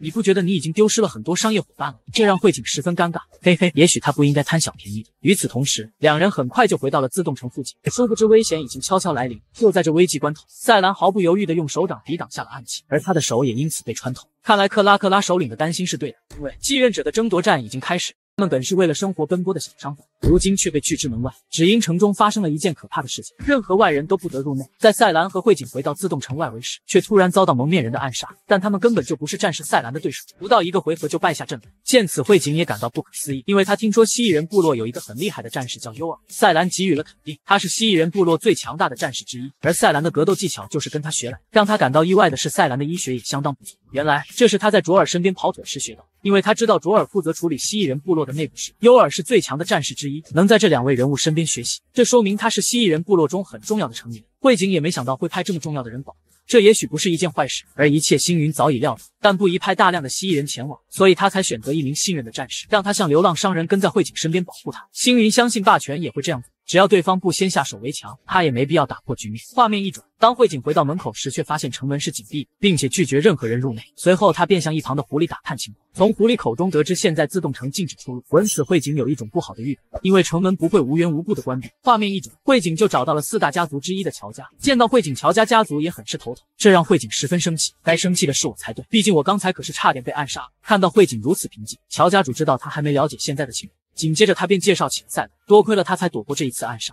而蜥蜴人也介绍起了自己，我叫赛兰，是来自黑林部落的战士。闻此，乔家主对他的出手给予了感谢。而两人之所以来找乔家，是因为他从哥布林口中知道这次的刺杀与乔家无关。那是当然，我们可不像其他家族那样做事。随后，慧景便询问起了关于城中的事情，而乔家主也是告诉他城中发生的一切。闻此，慧景内心猛然一震，怎么会？乔家主知道城主不在自动城，这也加剧了继承者之间的争端。而现在，他们的第一位继承者惠丹失踪。片刻之后，两人便来到惠丹的书房。慧景也不知道已经多少年没有踏进这里。小时候，慧丹很照顾他，但慧景懂事后就选择了回避他。就在这时，赛兰嗅到了桌脚底下有血腥的气味，于是赛兰把桌子底下的毯子掀开，底下果然有着明显的血迹，并且看样子有人试图将它擦掉。随后，乔家主告诉两人，这个他们也发现了，所以他们推断慧丹已经死。现在让他们困扰的是，他们没有找到遗体，而自动城在第一时间已经封锁了大门，防止凶手跑出自动城。要不了几天，凶手就会浮出水面，因为他掩盖不了难闻的气味。但慧景知道，凶手并没有想象中的那么简单。他既然敢在这么多人的眼皮底下动刀子，那就说明他做足了准备。就在这时，慧景脑中传来一阵诡异的笑声：“你想不想要我告诉你真相？难不成你又想坐以待毙？”而一旁的赛兰也察觉到了他的意图。突然，慧景示意众人，凶手可以把他放在眼里保存，最后处理，但需要一个很大的罐子和大量的。也就是说，他会处理遗体，并且还会腌肉。想必只有猎人和屠夫才会这么清楚。但到底是为什么？就在这时，赛兰也猜到了凶手的目的，是为了防止腐烂，这样就可以神不知鬼不觉的处理。而具备这样条件的人并不多。一个在家里的罐子放了很多咸肉，并且可以出入这间书房。这一切的矛头指向了一个人，拥有猎人身份的另一个继承人，也就是他的三姐慧珍。你以为这是非诚勿扰的灭族，但这其实是兄弟姐妹之间的厮杀，下起手来都得加钱。老三用麻袋装了老大，而最小的老五则是在他逃跑的路上将其狩猎。本以为螳螂捕蝉，黄雀在后，殊不知这一切都在猎人的注视之下。老二轻轻松松就解决了三个继承者，而现在还剩最后一位。在慧景回到自动城时，他得知了慧丹被杀的消息。通过他的推断，最终将嫌疑人锁定在慧珍身上。乔家主同意了他的看法。慧景的推理很有说服力，因为几大家族得知慧丹被杀后。所有人都认为慧珍是头号嫌疑犯，但事情并不像表面上看上去那么简单。原来就在慧珍得知慧景推断他是凶手，她便连忙找一个地方掩。就在他愣神之际，一道声音打断了他，而慧明已经在这里等候多时。他也没想到慧明知道他的去向。伴随着慧明的一声令下，一旁的侍卫便被无情射杀，这让他顿感不妙。没想到他也是一个心狠手辣之人。慧明示意他不用那么生气，毕竟你可是先杀死了最有潜质成为城主的慧丹兄长，这一切不都是为了城主的位置吗？现在是时候结束这该死的兄弟情谊。手无寸铁的慧珍只能狂怒的叫着慧明的名字，很快他就倒在了弓箭之下。随后两名护卫便上去查看慧珍的情况。就在慧明以为事情就这样结束时，下一秒他却是瞳孔剧缩。待他缓缓向下看去，没想到是一把利刃贯穿了他的身体。你说的没错，现在是时候结束这该死的兄弟情谊了，完成这一切的慧晶眼神很大。这里躺着三个兄弟姐妹，而现在还剩最后一个，我不会让你等太久的。慧景。画面一转，来到第二天，当慧景得到这个消息后，感到非常震惊。慧丹找到了，并且旁边还躺着慧珍与慧明。虽然凶手在刻意隐瞒身份，但这已经很明显。他先是等慧明送走慧珍，然后再出手除掉慧敏，这样他就可以一举两得。再加上哥布林接到的神秘人任务，想必也是他。如果赛兰没有出现，那么这就变成了一起简单的抢劫案。现在真正的危险已经来临，但慧景没有感到害怕，因为他已经做好了准备。与此同时，乔家主示意他，刚刚乔家内部开了一个紧急会议，而慧景似乎听出了他的言外之意，他不慌不慢地喝了一口茶。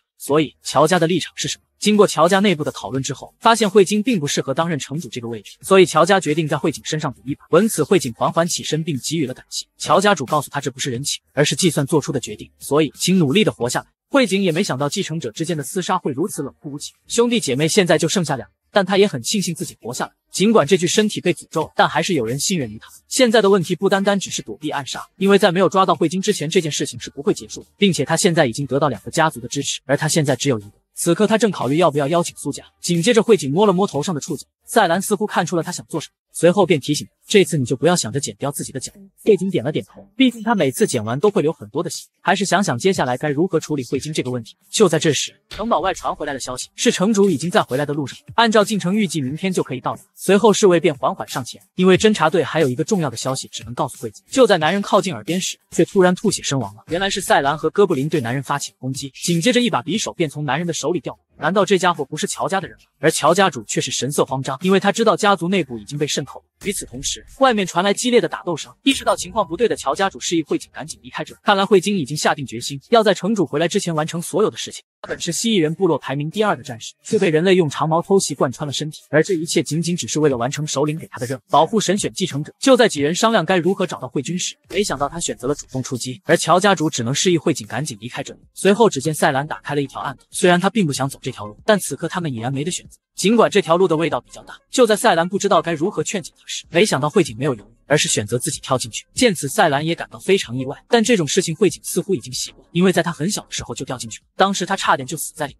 因为下面什么也看不见。就在他快要绝望的时候，突然出现许多光球漂浮在四周，慧景也因此寻找到了方向。当慧景看清他们的身影时，没想到是一群会发光的虫子，而他猜想这些就是书上说的萤火虫，但赛兰否定了他的看法，因为萤火虫不会出现在这种地方。想必这是一种类似萤火虫的生物。与此同时，两人很快就来到了下水道的尽头。这条路通向苏家猎人小屋的地下室，只要从这里穿过去，就可以出到街道外围。于是赛兰便先打算前往探查。临走时，他嘱咐慧景，如果他一段时间没有赶回来，就马上往反方向跑去。而慧景心里非常感激赛兰，这一段时间多亏了他的谨慎，不然说不定他的坟头都开始长草。就在这时，慧景突然听到打斗的声音，他随即就朝门口跑去。尽管刚才赛兰有提醒过他要往反方向逃跑，但他也不知为何自己的前往。紧接着，他拿出了藏在怀里的匕首，不管如何也不能眼睁睁看着赛兰死去。那是一个漆黑的夜晚，月亮藏在云层后面。当慧景看清，却是一脸震惊。只见门口映射出一个蜥蜴人的身影，每个人都根据剑反射出的微弱光线挥动着剑。然而，蜥蜴人在人类中更容易被发现，而站在人群身后骨瘦如柴的人正是慧君。那个蜥蜴人，你已经快要死了。但赛兰并没有打算屈服。见此，慧君也是感到不可思议，因为如果是普通人类，被长矛贯穿身体早已躺在地上。紧接着，他便下令上前杀掉慧景。只见四周的士兵径直朝慧景袭去，赛兰怎么会让他们轻易过去？就在几人想突破防线时，他一把抓住前面的长矛，尾巴狠狠朝身后的士兵甩去，随后一脚便将其踩在脚下。只听到骨骼碎裂的声音，士兵便躺在地上纹丝不动。然后他抓住刺穿胸膛的矛头，用尾巴缠住伸出来的其余部分，并从中间位置将其折断。你为什么会做出错误的选择？然而慧景也不知道，人类有时候明知道这是一个错误的决定，但他还是会选择，即使最终导致他们自己的毁灭。然而这不仅仅只是人类，蜥蜴人也亦是如此。克拉克拉说过，在保护对象的同时，不能把自己置于危险之中。然而他也没有做到。我想对你和我来说都是一样的。与此同时，士兵们见到蜥蜴人的厉害之后，都不敢贸然上前。一旁的士兵对慧君说了什么，紧接着慧君便示意众人。谁要是将慧景和蜥蜴人杀死，他就奖励那个人一车丝绸。但士兵还是不敢上去，因为他们听说他是获得天选之人，想必他已经不能简单的称之为战士。慧君则示意他们不用担心，因为他被长矛贯穿了身体，也没使用身体。如果他真的是，就没必要隐藏自己的实力了。就在这时，赛兰注意到一旁的墙体，它的盐晶体含量很高，那就说明里面可能是一条矿洞。紧接着，他便提醒慧景，接下来他们要往左边的方向跑。而慧景似乎明白他想要做什么。就在士兵再次朝两人进攻时，赛兰将双手搭在肩上，随即用尽全力朝一旁的墙体撞去。墙体的后面就如同他的推断那样，是一条盐矿通道。紧接着，慧景也紧跟其后，这可把慧君几人看傻眼。该死，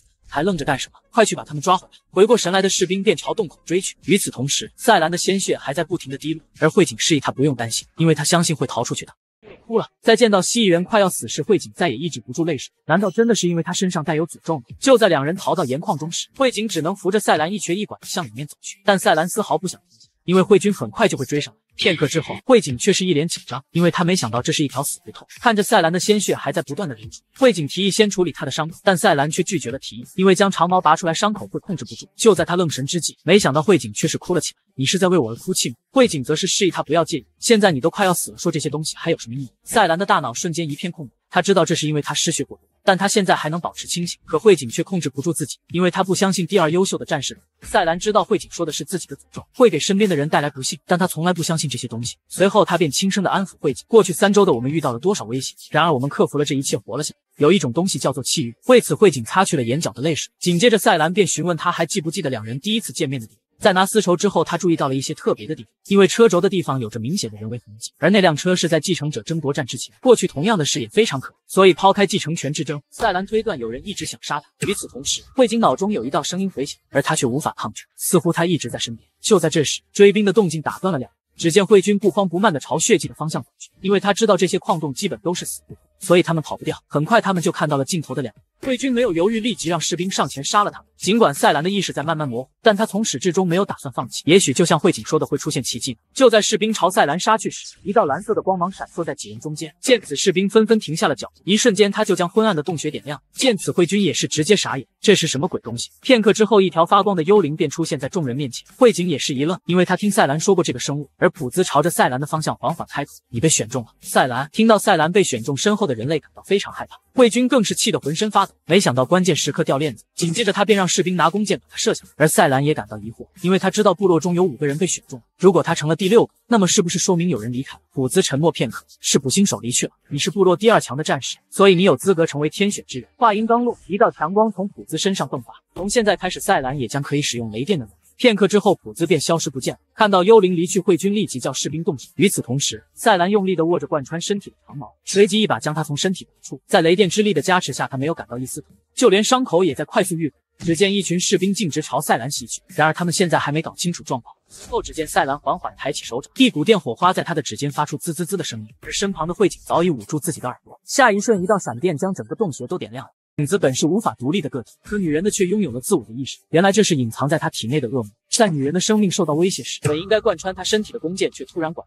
只因影子拥有操控概率的能力。就在赛兰获得了雷电属性时，他果断的给这些士兵来上一击电流。只见一股强大的电流将士兵的身体贯穿，瞬间让他们失去了战斗能力。而躲在身后的慧君侥幸的避开了攻击。片刻之后，最前面的士兵已经传来一股烧焦的味道。在见识到什么是天选之人后，尽管慧君心有不甘，但他还是立马就溜之大吉。一旁的慧景也被这股力量震惊，而他也非常好奇，黑林部落有这么强的力量，为什么不攻打猎狗？第一次使用这股力量的赛兰知道为什么，因为现在他感觉自己的精神有点疲倦。想必每个人不能无期限的使用它，这也许就是欧文隔一段时间就要吸烟的原因。慧景再次询问赛兰的身体要不要紧，他点了点头。我现在感觉好多了，再休息一下还可以继续战斗。片刻之后，当两人返回外面时，没想到还有人在洞口把守，但很快就被赛兰解决。在背后看着这一切的霸权再也坐不住。既然如此，那就怪不得他了。就在这时，赛兰和慧景却是一脸惊愕，因为他们没有想到一只剑齿虎突然出现在矿洞内。见此，赛兰下意识地将慧景护在身后。这种地方怎么会有剑齿虎？下一瞬，剑齿虎便对他发起了攻击，但获得了雷电的赛兰明显更强一些。不到一个回合，他便败下阵来。而慧景知道这应该是慧君带进的，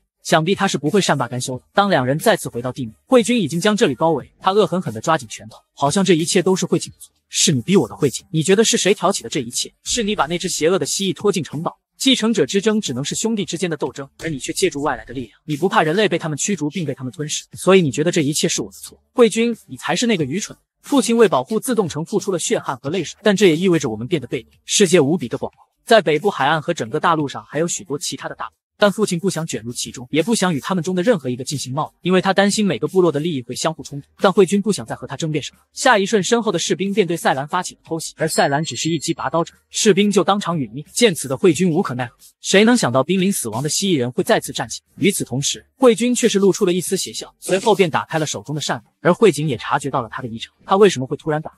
这难道是传达某种信号？还没等慧景反应过来，躲在暗处的士兵已经把弓箭对准。突然间，慧景听到了自己的心声：“你不会在你快被杀的时候叫我闭嘴？照这样下去，你可能会死。”尽管蜥蜴人已经做出了反应，但为时已晚。于是影子告诉慧景：“你可以试图想一个力挽狂澜的方法。”然而慧景也不知道，但如果现在刮起一阵风，影子笑了笑。风，他总是会站在我们这边。就在这时，天空中突然刮起一阵龙卷风，而快命中慧景的箭被他顺势改变了运动轨迹，这让慧君再次惊掉下巴。老天，你玩我是吧？就连赛兰也感到不可思议，不过也在意料之中，毕竟连他自己本人也不清楚这是诅咒还是气运。下一瞬，弓箭就落在慧景身前，这比你想的更复杂一些，因为我可以操控概率，隐藏在慧景身体的恶魔属性已被激活。星云和霸权的矛盾预言终于迎来了答案，而谁会成为最后的继承者？就在慧君用出最后的手段时，没想到慧景体内还隐藏着恶魔，而他拥有一种操控概率的能力。这一幕直接把霸权看傻眼，因为他一直以为慧景身上带有的是诅咒。但是你是怎么知道的？星云笑了笑，你觉得我风道会选一个被诅咒的孩子吗？可霸权看到慧景的角色历史时，他绝对像是一个被诅咒的人。但当答案摆在他面前时，霸权沉默，而他怀疑是星云修改了人物信息。闻此，星云否定了他的推断，因为在他们来到这里时，这个世界的设定就是这样。但霸权很好奇他是怎么看出来的，而星云一开始也不确定，甚至也认为慧景身上的是诅咒。他并没有因为概率很高就草率下结论。虽然他们发生的都是真实的事情，但是星云觉得他背后肯定隐藏着什么东西。事实证明，慧景的许多看似不幸的事情，其实都是针对他的暗杀企图。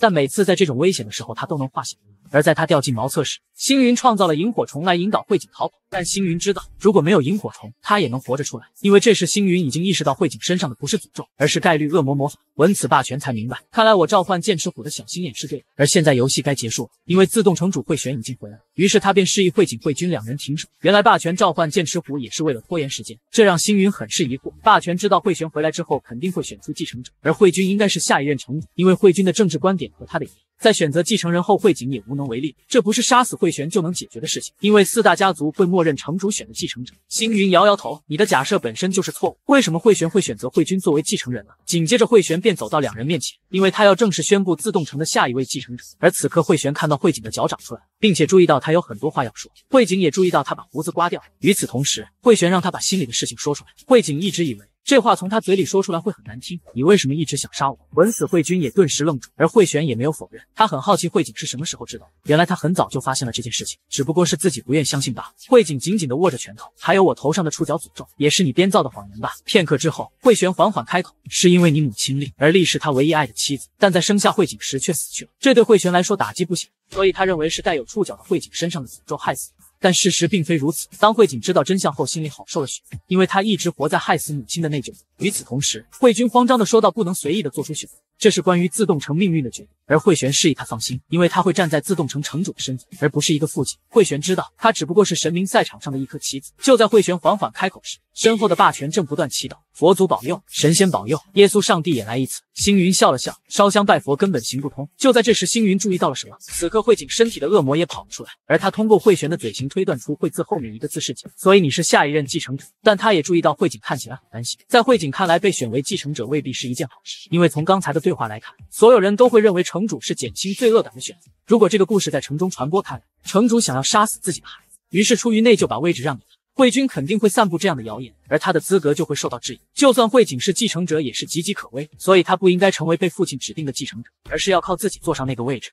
蜥蜴人只是释放了一道闪电，就让人类士兵大惊失色，因为这是属于天选之人的标志，而他们的闪电正是神法。在自动城主准备宣布下一任继承者时，慧景却打断了他，因为他知道，如果是父亲主动给他，那么他这个位置迟早会被推翻。所以慧景现在改变主意了，这让慧玄感到非常疑惑。他不明白为什么。慧景知道，与其让父亲把继承者丢给自己，倒不如自己请，不用顾及他父亲的身份，请把城堡主人的位置交给我。闻此，众人皆是一惊，慧君连忙在一旁煽风点火。父亲这家伙在威胁，然而慧玄却是默许了慧景的做法。我想知道你有没有勇气威胁我，但我手底下这些士兵你该如何应对？而慧景将手伸向一旁，他不是一个普通的蜥蜴人战士，而是一个天选之人。只见赛兰手上有一道雷电在不断环绕，见此的众人皆是惊出一身冷汗。虽然他不知道赛兰能不能把这里的人都杀了，但慧景知道他完全有能力解决自己的父亲，然后带着自己离开这里。而慧君提醒父亲，现在的蜥蜴人已经精疲力尽，可自己怎会不知道蜥蜴人的能力？毕竟亲自到黑林部落走了一趟，首领克拉克拉更是一个让他印象深刻的。他的背后一定是神明在布局。紧接着，慧玄再次提出了一个问题：如果在我死后，自动城还没有继承人，你会怎么做？虽然慧景并不希望这样的事情发生，但如果是真的，那么他将会寻求黑林部落的帮助，使用黑林部落战士的力量彻底清空城堡。当然，有些人会以领主的权威进行反击，但他们怎么打败黑林蜥蜴人部落的战士？闻此，慧玄陷入了沉思。可慧君不同意他的做法，所以这才是你的意图，对吗？随后，一道声音让众人再次安静下来。只见慧玄径直走到慧景身前，并郑重地宣布：“我自动城的现任城主特此任命慧景为下一任继承者，此刻起立即生效。”这让慧君直接瘫倒在地，一切都完了。画面一转，来到几天后，自继承者继任结束后，自动城变得更加活跃，慧景的事情也在城中流传开来。与之前相比，现在其他种族的贸易有所增加，远道而来的商人也越来越多。城堡里的四大家族也很安静，看起来他们正在接受城堡新主人带来的改变。但慧君却不这么认为，一个和蜥蜴人勾结的家伙被认为是自动城的城主，他无法接受这样的现实，所以他打算偷偷的离开这里。等他再次回来，一定会拿回属于自己的东西。就在他准备离开之际，一道声音打断了他：“原来是你这该死的家伙！”而赛兰很好奇，他收拾这么多行李要去哪？但慧君只是回了一句：“不关他的事。”一旁的赛兰也没有要阻拦他的意思。只见慧君骂骂咧咧的离开了。赛兰抬头看着星空，每个人都有自己的想法，我不能把你这样愚蠢的麻烦留在慧景身边，而我就是这么想。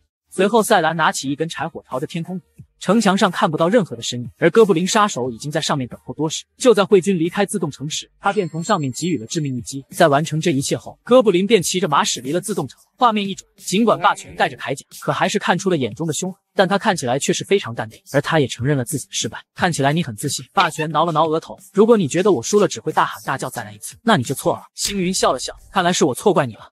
块小小的铁片。竟影响了文明的发展进程。而他是否会加快蜥蜴人部落的铁器时代？就在霸权输掉比试之后，他优雅的转身离开了这里。于是他准备带领猎狗部落往西边走，穿过西部的大陆。由于预言失败而经历负面事件，只是这个过程的一部分。但似乎他并没有太过在意这点损失，而他也很期待与星云的下次对决。星云知道他一边前进，一边从大陆上的居民那里窃取技术。他似乎对自己很自信。现在霸权离开了这里，这对星云来说将是一个扩大影响力的机会。西部的沿海地区还有南半岛，由于都是沿海地区，所以星云想到了上次从蛙人那里获得的那个。因为条件限制的问题，他一直没机会使，他应该可以派上用场。而现在，星云想先见见自动城的新主。画面一转，来到另一边，慧景在工作时不知为何迷迷糊糊就睡着。与此同时，一只发着蓝色光芒的虫子落在他的手上，这让他很是疑惑。当他抬头看去，发现一个穿着长袍的神秘人出现在他面前。虽然慧景从来没有见过。但是他还是一眼就看出来了，这是蜥蜴人所说的蓝虫神。随后他便虔诚地朝着星云跪拜。我从蓝虫神的追随者那里得到了很多帮助，但星云并没有说什么。只见他手上的虫子缓缓飞起，然后变成了一块铁片，这让慧景感到很奇怪，因为这是他们交易时用的铁片。他不明白蓝虫神是什么意思。就在他询问的时候，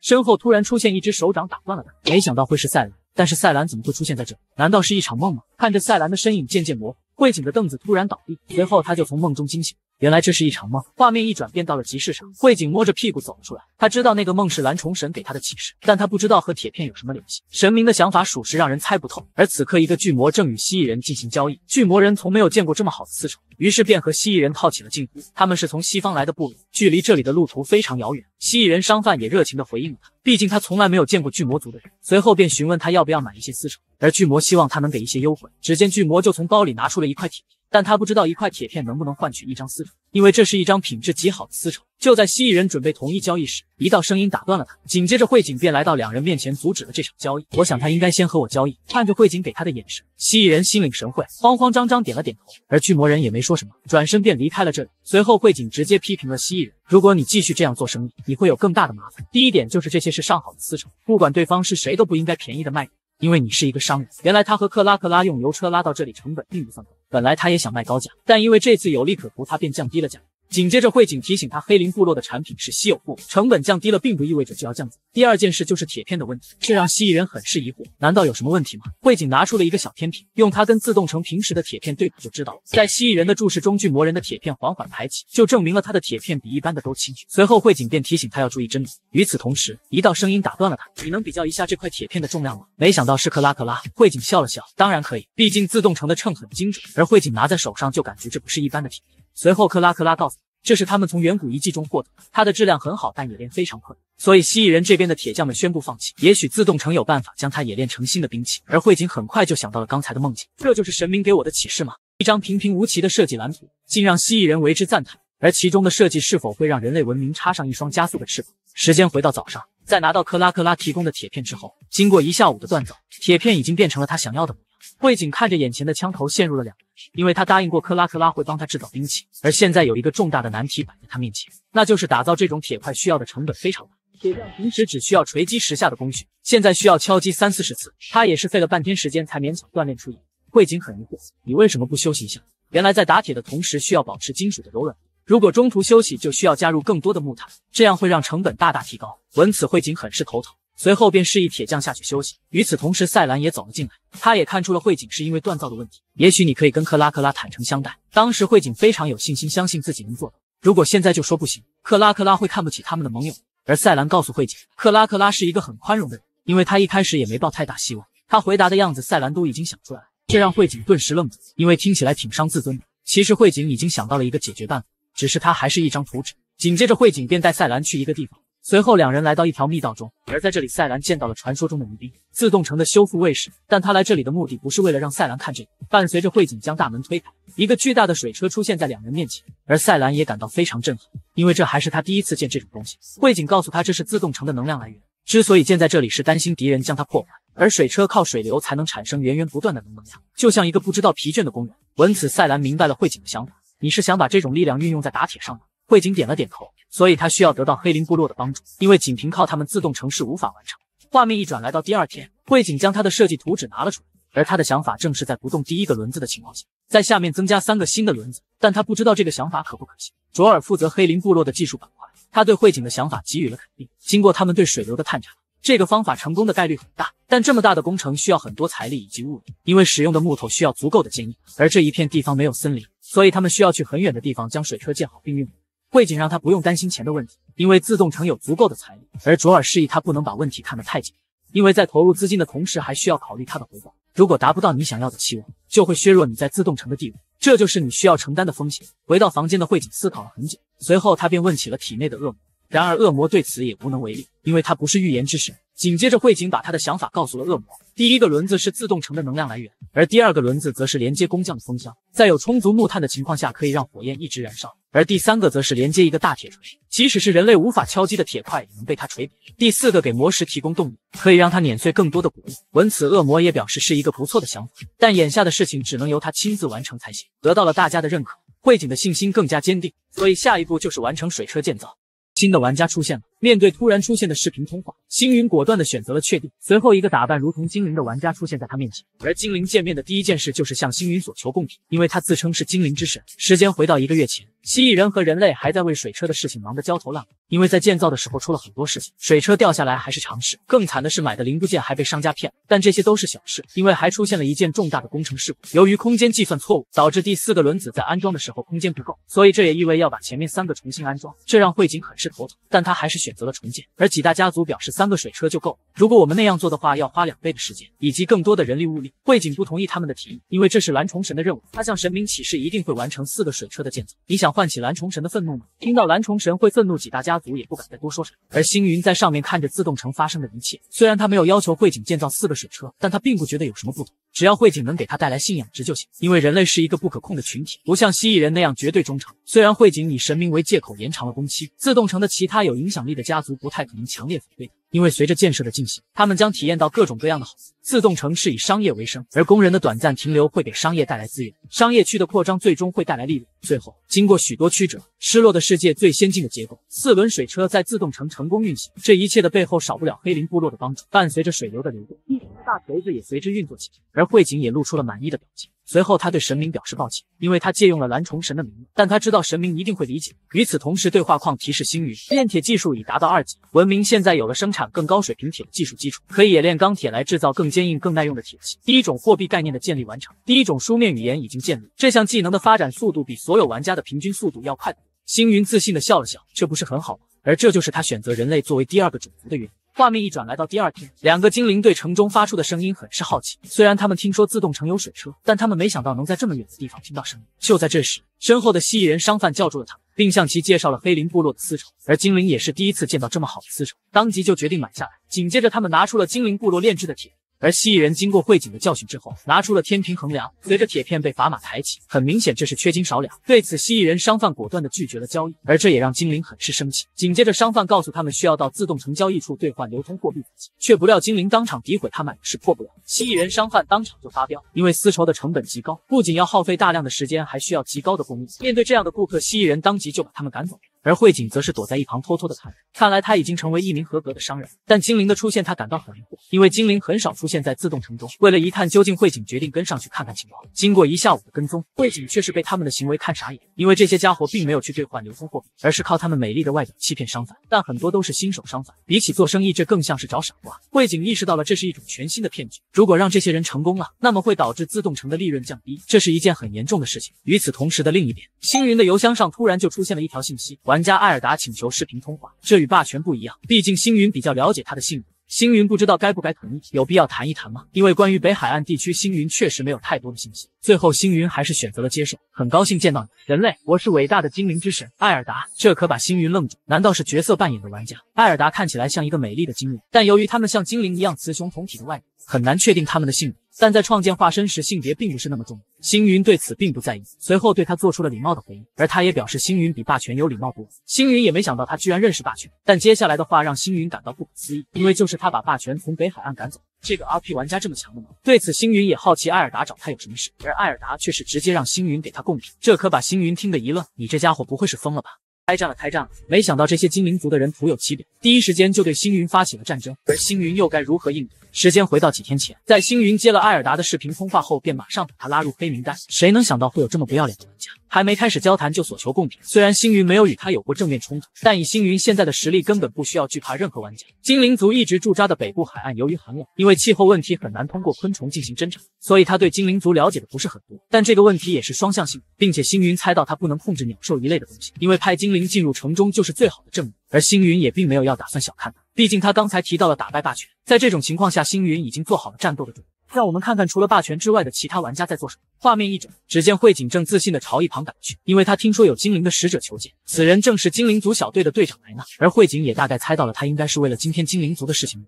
见到自动城的主人莱纳，丝毫没有避讳。直接就开门见山的说出来意，但慧景并没有打算要理会他们的意思。见此，精灵便拿出了一个盒子递给慧景，紧接着慧景接过盒子查看，没想到是一颗闪闪发光的宝石，而这是精灵族在一处远古遗迹获得，他们正是想用珍贵宝石让自动城对他们的生意睁一只眼闭一只眼，这是一个不错的计划。而精灵以为慧景是一个贪财之人，可下一瞬他却是突然愣住，因为慧景直接就将宝石丢掉了。见此，莱娜收起了笑容，迅速拿起盒子，他打开盒子查看宝石，然后松了一口气。而慧景对他们的行贿很是怀疑，因为以前精灵族并没有从北岸下。难道是发生了什么事情了吗？在没有了解情况之前，慧景选择了按兵不动。这时，慧景想到了蓝虫神，现在是一个不错的营销时机。只见他自信地介绍起了他们制作的木偶。然而，他们已经有了信仰的神明，那就是无影之神。画面一转，只见赛兰来到了慧景的办公室，并表示已经派人去给精灵族的人道歉了，因为上一次慧景要求他们改变信仰，还把他们的神明侮辱。此刻，慧景只能无奈地叹了一口气。那些精灵除了长相之外，感觉好不到哪里去。可钢铁赛兰却打断了他：“你的长相值得一看吗？”闻此，慧景顿时愣住，随后他便连忙拉开话题。毕竟他们可是打算贿赂自动城的城主。与此同时，赛兰朝窗外看去，他猜到精灵族会在雨季之前来到这里，所以他们需要做好万全的准备。不过，我们不打算欢迎他们。赛兰也在一旁附和：“到时候我准备更多侮辱性的，所以我们需要做好万全的准备。”画面一转，来到几天后，自动城的士兵在巡逻时，突然发现前方传来了异动。只见一支军队正快速的朝自动城移动，当视野逐渐清晰，跟他们料想的一样，是精灵族的人。他们正是收到了无影之神的信息，对自动城发起进攻。此刻，他们领头哈士迪安正一脸得意，因为在他看来。一座用泥土堆出来的城堡，他随时就可以将自动城消灭。而他们神明就在天空之上看着，他也自信的觉得三百人的小队足以接管自动城。因为经过他的观察，自动城虽然高，但是里面的士兵却只有一百五十名左右，并且用的都是劣质的弓箭。与他们的弓相比，他们的弓可以击中八十多步的距离。哈士迪安更是觉得自动城的城主马上就要给他跪下。然而星云早已料到精灵玩家会发起进攻，那就让我们手底下见真章吧。文明冲突，你的部落正在与玩家对抗。当精灵之神看到突如其来的提示，让他顿时吓懵。他没想到人类和蜥蜴人竟然是一伙。就在精灵族首领幻想着生擒自动城城主时，一旁的守卫匆忙来报，因为此刻正有一支军队躲在山上。哈士迪安很是困惑，他命令他的战士们去查清这些人是谁。经过探查，得知了他们是自动城的战士。让哈士迪安不解的是，为什么他们在城堡外？如果他们知道我们要来，难道不应该安安静静的在城堡里等着吗？哈士迪安有些慌乱，但他们知道自己的战士数量超过了对手的士兵，对手并没有带来所有的士兵，所以他觉得胜利的天平还是属于他们。与此同时，身后的士兵注意到后方传来动静，他们的身后正有一支小队朝他们杀了。闻此，哈士迪安连忙回头看去，没想到是黑林部落的人。该死的，他们怎么会在这里？身后的艾尔达顿时愣住，他没想到蜥蜴人会帮助人类。当看到对话框提示，他才反应过来。文明冲突，两个不同的部落接触，部落的经验值正在上升。明明自己在跟一个玩家对抗，但为什么会出现两个种族？就在这时，星云收到了艾尔达的来信。只见他惊讶地询问星云：“蜥蜴人部落是不是他的盟友？难道还有其他神明参与战争？”看着喋喋不休的艾尔达，星云无奈地叹了一口气。在联系之前，能不能先看一下本地信息？随后，他连忙查看本地列表，而上面只显示星云一名玩家，周围没有其他人。那就意味着一件事。尽管如此，艾尔达还是很困惑。你不是人类信奉的神明吗？而星云没有否认，你说的没错。但同时，我也是蜥蜴人信奉的神明。闻此，艾尔达目瞪口呆。他没想到会有玩家拥有两个部落。尽管艾尔达感到惊讶，但底下的战争已经打响。此刻的精灵族手忙脚乱，因为经过长途跋涉，他们根本抵御不了两个部落的围攻。他们现在唯一能做的就是抵御住黑灵部落的突袭，然后杀出一条小路突围。可人类怎会给他机会？只见埋伏在山上的士兵对准了他们，随后无数弓箭如同雨点朝他们落下。精灵族的士兵一下子就被打得溃不成军。就在他们忙着躲避弓箭时，克拉克拉已经率领骑兵团赶。哈士迪安试图让队伍保持阵型，虽然有一些士兵重新拿起了长矛，但已经为时已晚。在最前面率领骑兵的是克拉克拉，随后只见他伸手指着天空，健忘的精灵族还不知道这是什么意思。他们瞥了一眼克拉克拉所指的地方，然后克拉克拉把食指从天上拖到精灵长矛兵所在的地方。似乎一条白色的实线穿过了大气层，瞬间将一个区域点亮。克拉克拉并不打算给他们喘气的机会，手持长矛让精灵血溅当场。对于训练有素的蜥蜴人来说，这些精灵就如同砧板上的肉。而哈士迪安只能眼睁睁地看着士兵丢下武器逃跑。尽管他想用无影之神的名义鼓舞士气，可士兵没有要理会他们的意思，因为他们已经失去了战斗的意志。紧接着，普兹也浮现出一个虚影，在战场上不断盘旋，制造恐慌。第一波战斗很快就结束，但克拉克拉并没有打算要放过逃跑的精灵。看着自己的部落被单方面的虐杀，艾尔达很快就提出了投降。所以你这么快就想着要干预了吗？艾尔达没有办法。因为实力差距就摆在那里，随后他便让星云提出停战的条件。只见星云伸出手指，信息技术还有资源，这让艾尔达顿时愣住。这些东西不就是全部吗？艾尔达似乎在思考什么。在玩家之间的战斗中取得巨大胜利的情况下，即将失败的玩家有时会在接受一些条件和谄媚行为后继续玩游戏。在可能的条件中，技术和资源是最简单的条件。要技术意味着要艾尔达的精灵部落发现和开发的所有技术。至于资源，这基本上是艾尔达最初向星云要求的贡品。信息则更特殊一些，在失落的世界中，信息是指关于所有实体。区域。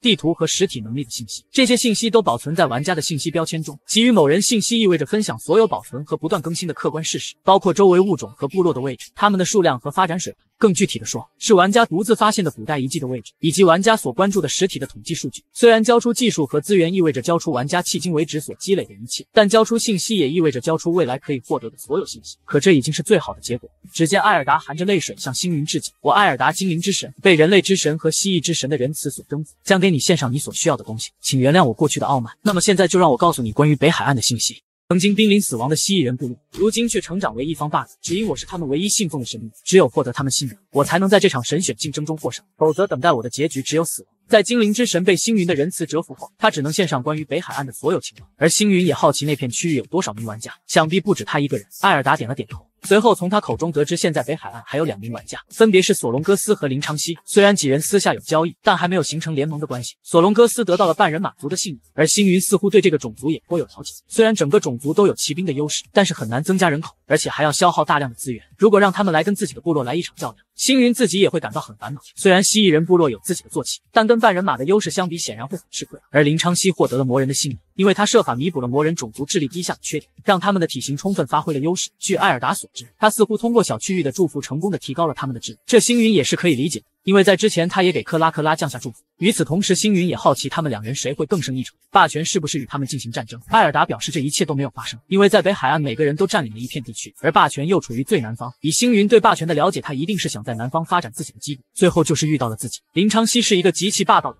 时不时的就向艾尔达索求供品。说到这里，艾尔达的眼泪就情不自禁的落下，因为他很难满足那个家伙的要求。这就是为什么两人第一次见面时，艾尔达突然要星云献出供品的原因。所以林昌熙对索隆哥斯的态度比你友好，这让艾尔达顿时一惊。你是怎么看出来的？星云笑了笑，很简单，因为他的种族是半人马族，而精灵和魔人处于一个地区的种族。最后都会因为土地问题发起战争，并且星云肯定精灵族绝对是第一个被开刀的，所以他没有必要对你好。这让艾尔达顿时愣住，没想到自己已经沦落到这种地步。紧接着，星云示意他不用太过担心，毕竟如果北方突然出现一个强国，对自己也极为不利。所以现在最好的办法就是互帮互助。闻此，艾尔达一下子泛起了泡泡茶火。你真的愿意跟我合作吗？可是他的主力部队已经没有，还能起到什么作用？而星云早已想到了一个计划。你不是获得了无影之神的技能吗？想必你肯定获得了艺术的紫玉米。这让艾尔达内心猛然一震，他没想到星云对自己了解的那么清楚。紧接着，星云便示意艾尔达过来，并告诉他接下来该怎么做。当他得知后，也是尤为震惊。这样真的可以吗？画面一转，来到另一边，半人马的首领在风雪中看着脚下这片土地，因为精灵族的预言家看到了一个预言，在不久的将来，这里会出现一个新的我，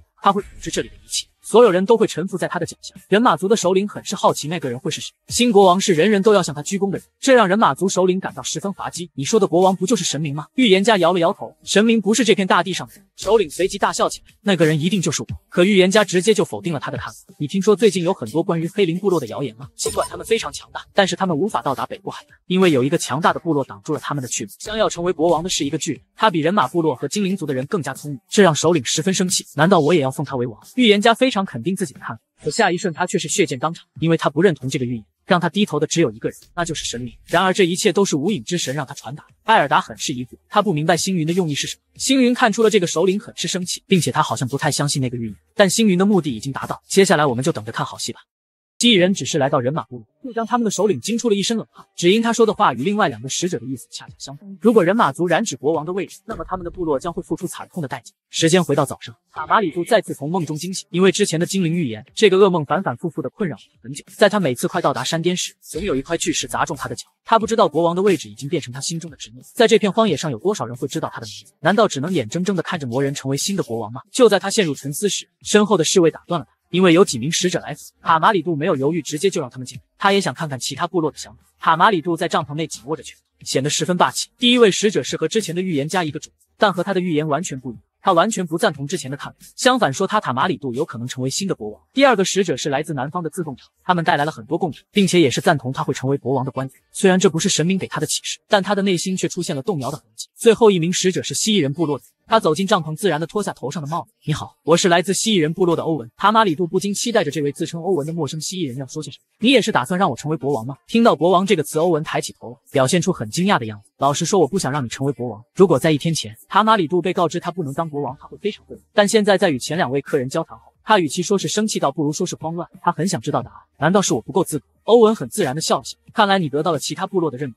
塔马里杜肯定了欧文的猜测。他刚才得到了精灵和人类的认可，那么黑林部落的态度？而欧文很确定的表示，首领会承认他。可塔马里杜却感到事情不对劲，因为他感觉欧文的话里有话。紧接着，欧文再次提醒他不要抢那个位置，这仅仅是他自己的看法，跟黑林部落无关。此刻，塔马里杜很是不满欧文的看法。连人类和精灵都支持他，他想知道到底是什么原因。而欧文也没有藏着掖着，既不是资质，也不是能力，而是神明。闻此，塔马里杜内心猛然一震。塔马里杜记得他已经忘记神明的信息，或者确切的说是他想要的信息。当然，这仅仅只是欧文自己的推断。既然大陆种族的等级存在差异，那么神明的之间也亦是如此。你们的神明在魔人族的神明面前只能俯首称臣。听到这些话，塔马里杜眼里充满了愤怒，随后他拿起地上的斧头就朝欧文的方向劈去。你这是在侮辱我们的神明！然而欧文没有想要躲避的意思。我说的只是神之间的等级制度，而不是部落之间的等级制度。你为？什么生气？塔马里杜似乎随时准备攻击欧文，但很快就平静下来。你真的认为魔人的神明在我的神明之上吗？这时，塔马里杜回想起了梦里的场景，每一次的结局都是被石头砸下去。紧接着，他便询问欧文有没有解决的办法，而欧文则是缓缓起身。蜥蜴人部落的战士在必要的时候也会违背首领的命令，也许你的神明也会。临走时，欧文还不忘提醒他。如果是我，可能要做你神不愿意做的事。与欧文对话结束后，塔马里杜陷入了沉思。他已经做出了自己的选择，为了自己的事，他愿意走神明，不愿意走的路。与此同时的另一边，星云和艾尔达默默看着人马部落发生的一切。艾尔达没想到自己的领域还能这么适，对其他种族进行干扰，即使他们被另外的玩家操控。想必现在那个叫索隆戈斯的玩家要操碎心了。此刻，艾尔达很是疑惑：难道种族之前的挑拨离间还能用在神明身上吗？星云用肯定的语气回答：为什么不可以？索隆戈斯也知道游牧民成长的局限性，如果他不做出行动，难道真的要等着林昌熙吞并他？才做出反击吗？索隆戈斯肯定也是这么想，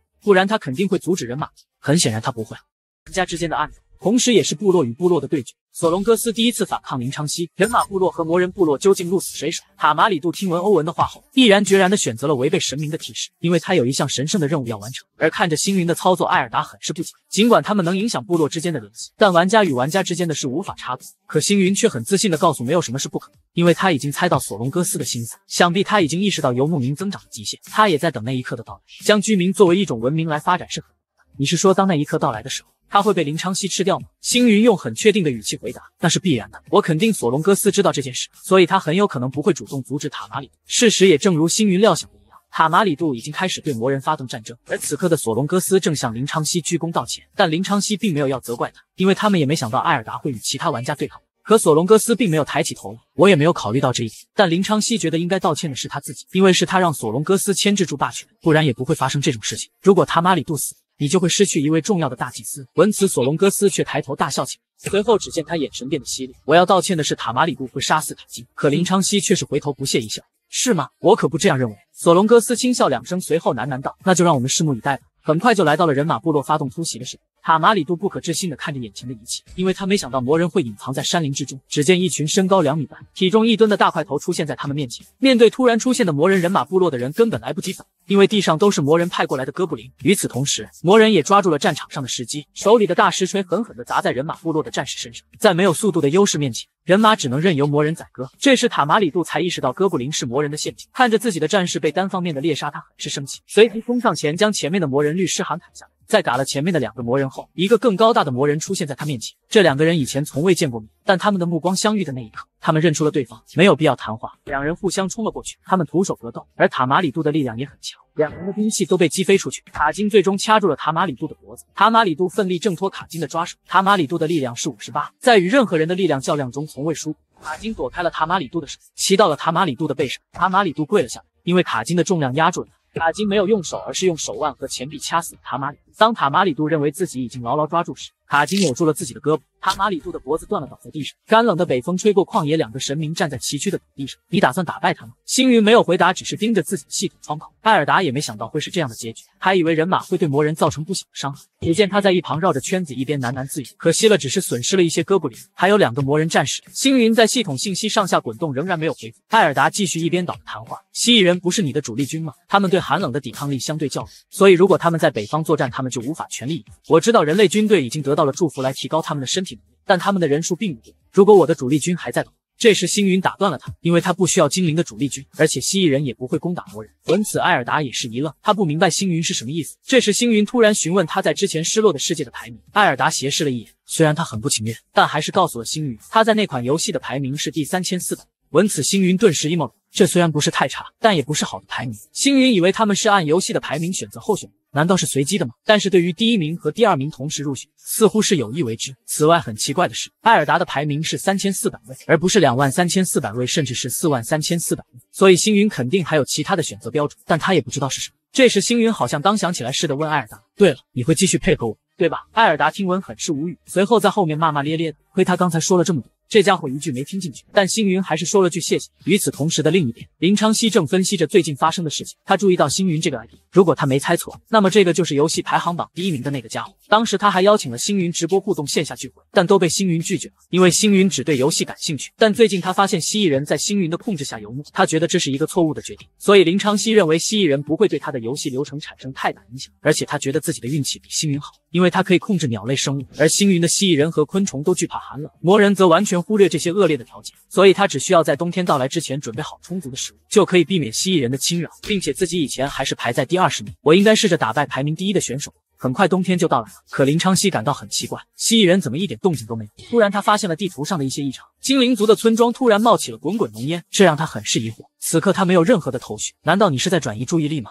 抽卡了，抽卡。星云再次获得抽卡机会，并且获得了鸟类的物。蜥蜴人部落和人类再次获得加强。当林昌熙看到星云放火烧村时，他已经形成了孤立无援的结果。这正是星云用来对付魔人的方法——焦土战术，将对方可能占领的地区全部荒废，切断他们的资源。在失落的世界中，补给与真正的战争一样重要，所以同样的策略也适用于此。你可能也用过几次。艾尔达点了点头，但他从来没见过在比赛这么早的时候使用。看着被火烧的村庄，艾尔达一直黑着脸，毕竟那可是他辛辛苦苦看着建起。不过他也没什么好担心，因为在放火前，星云已经撤走了精灵族的人，所以你一开始就打算使用这个战术。星云给予了肯定。通常情况下，游戏的开始阶段是行不通的，但这一次所有的条件都满足，因为对方在北海地区，所以很难补给粮食，而自动城的粮食也被我整。一旦开战，他们就会掠夺精灵部落。现在他们就等着吃渣渣灰吧。艾尔达没有说话，只是默默地注视着星云，因为他看不透星云的计划。而且你也是我运气的一部分，这让艾尔达一下子泛起了泡泡茶火。他完全误解了星云的意思。此刻，星云还在给艾尔达讲解。由于精灵是一个定居的部落，他们一直在为魔人提供源源不断的食物，所以烧毁他们的村庄是非常有效的。但现在他们坚持不到下一个冬天。正如星云料想的一样，魔人没有吃的，果断对哥布林 NPC 发起了攻击。饿疯了的魔人直接就将他们当成了狗，这直接导致了卡金失去了对哥布林的控制，但他也无可奈何。因为他们过完冬天，粮食就所剩无几，饥饿难耐的魔人只能想办法逃离这里。卡金知道这样下去也不是办法，但他一直没得到神明的启示，所以他没有轻举妄动，只能等待神明的指令。看着因为饥饿战斗而死的魔人林昌熙，很是难受，而他只能眼睁睁的看着魔人部落被逐渐灭尽，因为很多人不再对他信任，这也导致了林昌熙的信仰值一直在下降。现在他必须做出决定。看着眼前的消息窗口，林昌熙犹豫了很久，但最后还是拨通了过去，因为他想找索隆哥斯借一点人手，而索隆也没有办法。因为去年的大战让他损失了几乎所有的战士，最后还被蜥蜴人部落收割了一波，现在只剩下老弱病残的。与此同时，索隆哥斯也正好有事情与他商量，因为艾尔达向他发出了邀请，而他的背后正是星云。闻此，林昌熙顿时紧张起来，他想知道索隆的选择是什么，而索隆哥斯表示自己直接就拒绝，但其实是他想了很久。闻此的林昌熙感动的一把鼻涕一把。现在他还能派出二十名战士帮助林昌熙。随后两人便讨论着接下来的战斗。经过林昌熙的巡视，最后把战场定在了一片荒土。两人推断星云的神性等级比他们的高，所以两人决定联合起来发动神性挑战。这一次他相信自己绝对不会输。很快，卡金就带着所有的魔人对蜥蜴人发起了挑战，其中还有一些人马部落，但他们的战力参差不齐。蜥蜴人部落的巡查小队得知很快就赶过来，看起来他们有五十个人组。领头的正是黑林部落的首领克拉克拉。林昌熙没有犹豫，果断的发动神性附体，将魔人的战斗力提升到最大。索隆戈斯也是如此，他们知道星云也会附体到蜥蜴人身上，这样他们就能趁机将星云杀死。面对两人的攻击，克拉克拉丝毫不慌，因为他知道神明一定会出现。下一瞬，克拉克拉感觉身体充满了力量。随即一跃而起，躲避了攻击。在卡金的攻击结束后，人马则是继续发动轮子。克拉克拉跳离了鹦鹉螺，来到魔人身上。还没等两人反应过来，克拉克拉纵身来到他们身前，手中似乎在凝聚什么力量。只见克拉克拉手中发出一阵白色的光芒，瞬间就将两人吞噬。忙完这一切后，星云拍了拍手，以为他们气势汹汹的跑过来会有多强，没想到是贴脸开大。与此同时，对话框提示：玩家林昌熙、索隆戈斯沦为附庸玩家。当玩家失去血条时，就会出现这种情况。如果他们的等级低于一，他们就会成为附庸。在失落的世界中，成为附庸几乎意味着被消灭，玩家将其视为死，因为这可不像以前玩的游戏。看着自己的战利品，星云很是满意。在克拉克拉达到十级后，所需要的经验值更多了。现在终于来到了十二级，并且还可以随机抽取失败玩家的卡牌。抽卡环节，星云直接就选择了确定。随后数张卡牌出现在他面前。当星云抽下两张，他也好奇会是什么。恭喜你获得鸟类领域与沼泽领域。虽然沼泽不怎么样，但是这个鸟类领域星云很是喜欢。所以他决定将乌鸦的祝福留给蜥蜴，猫头鹰的祝福留给人类，而这些祝福效果将从他们的下一代开始。两大首领签订的契约，竟是失落世界的第一份经济条约。在这个众神争霸的世界，越来越多的玩家开始强大起来，而星云又该如何带领自己的部落走向胜利？在星云获得了新的卡牌后，他已经想好了接下来的用途。鸟类领域留给了蜥蜴人和人类，至于沼泽领域，由于前期玩家的局限性，它的作用并不是很大，甚至是鸡肋。但在游戏后半段，看似无用的小区域，可能会随着玩家活动范围的扩大而变得有用。现在星云也该为接下来的事情做准备了。通过蝗虫群，他发现，在大陆西部地区爆发了一场大战斗。虽然他不确定自己是否已经掌握了所有内容，但他知道这是一场五名玩家分成三个派系的战斗。他们在各自领土的边界上作战，在彼此的背后占领大陆上的空地。但在他们来这里之前，星云不会打破平衡，而东面则是大海。在前期还是要以陆地为主。至于南部与北部，现在北部已经被星云占据，南部则是有一些 NPC 部落，他只需要让克拉克拉去征服即可，剩下的就是解决艾尔达的问题。画面一转，来到另一边，由于精灵族战败，他们不得不重新迁移，而留给他们的只有大陆的最北。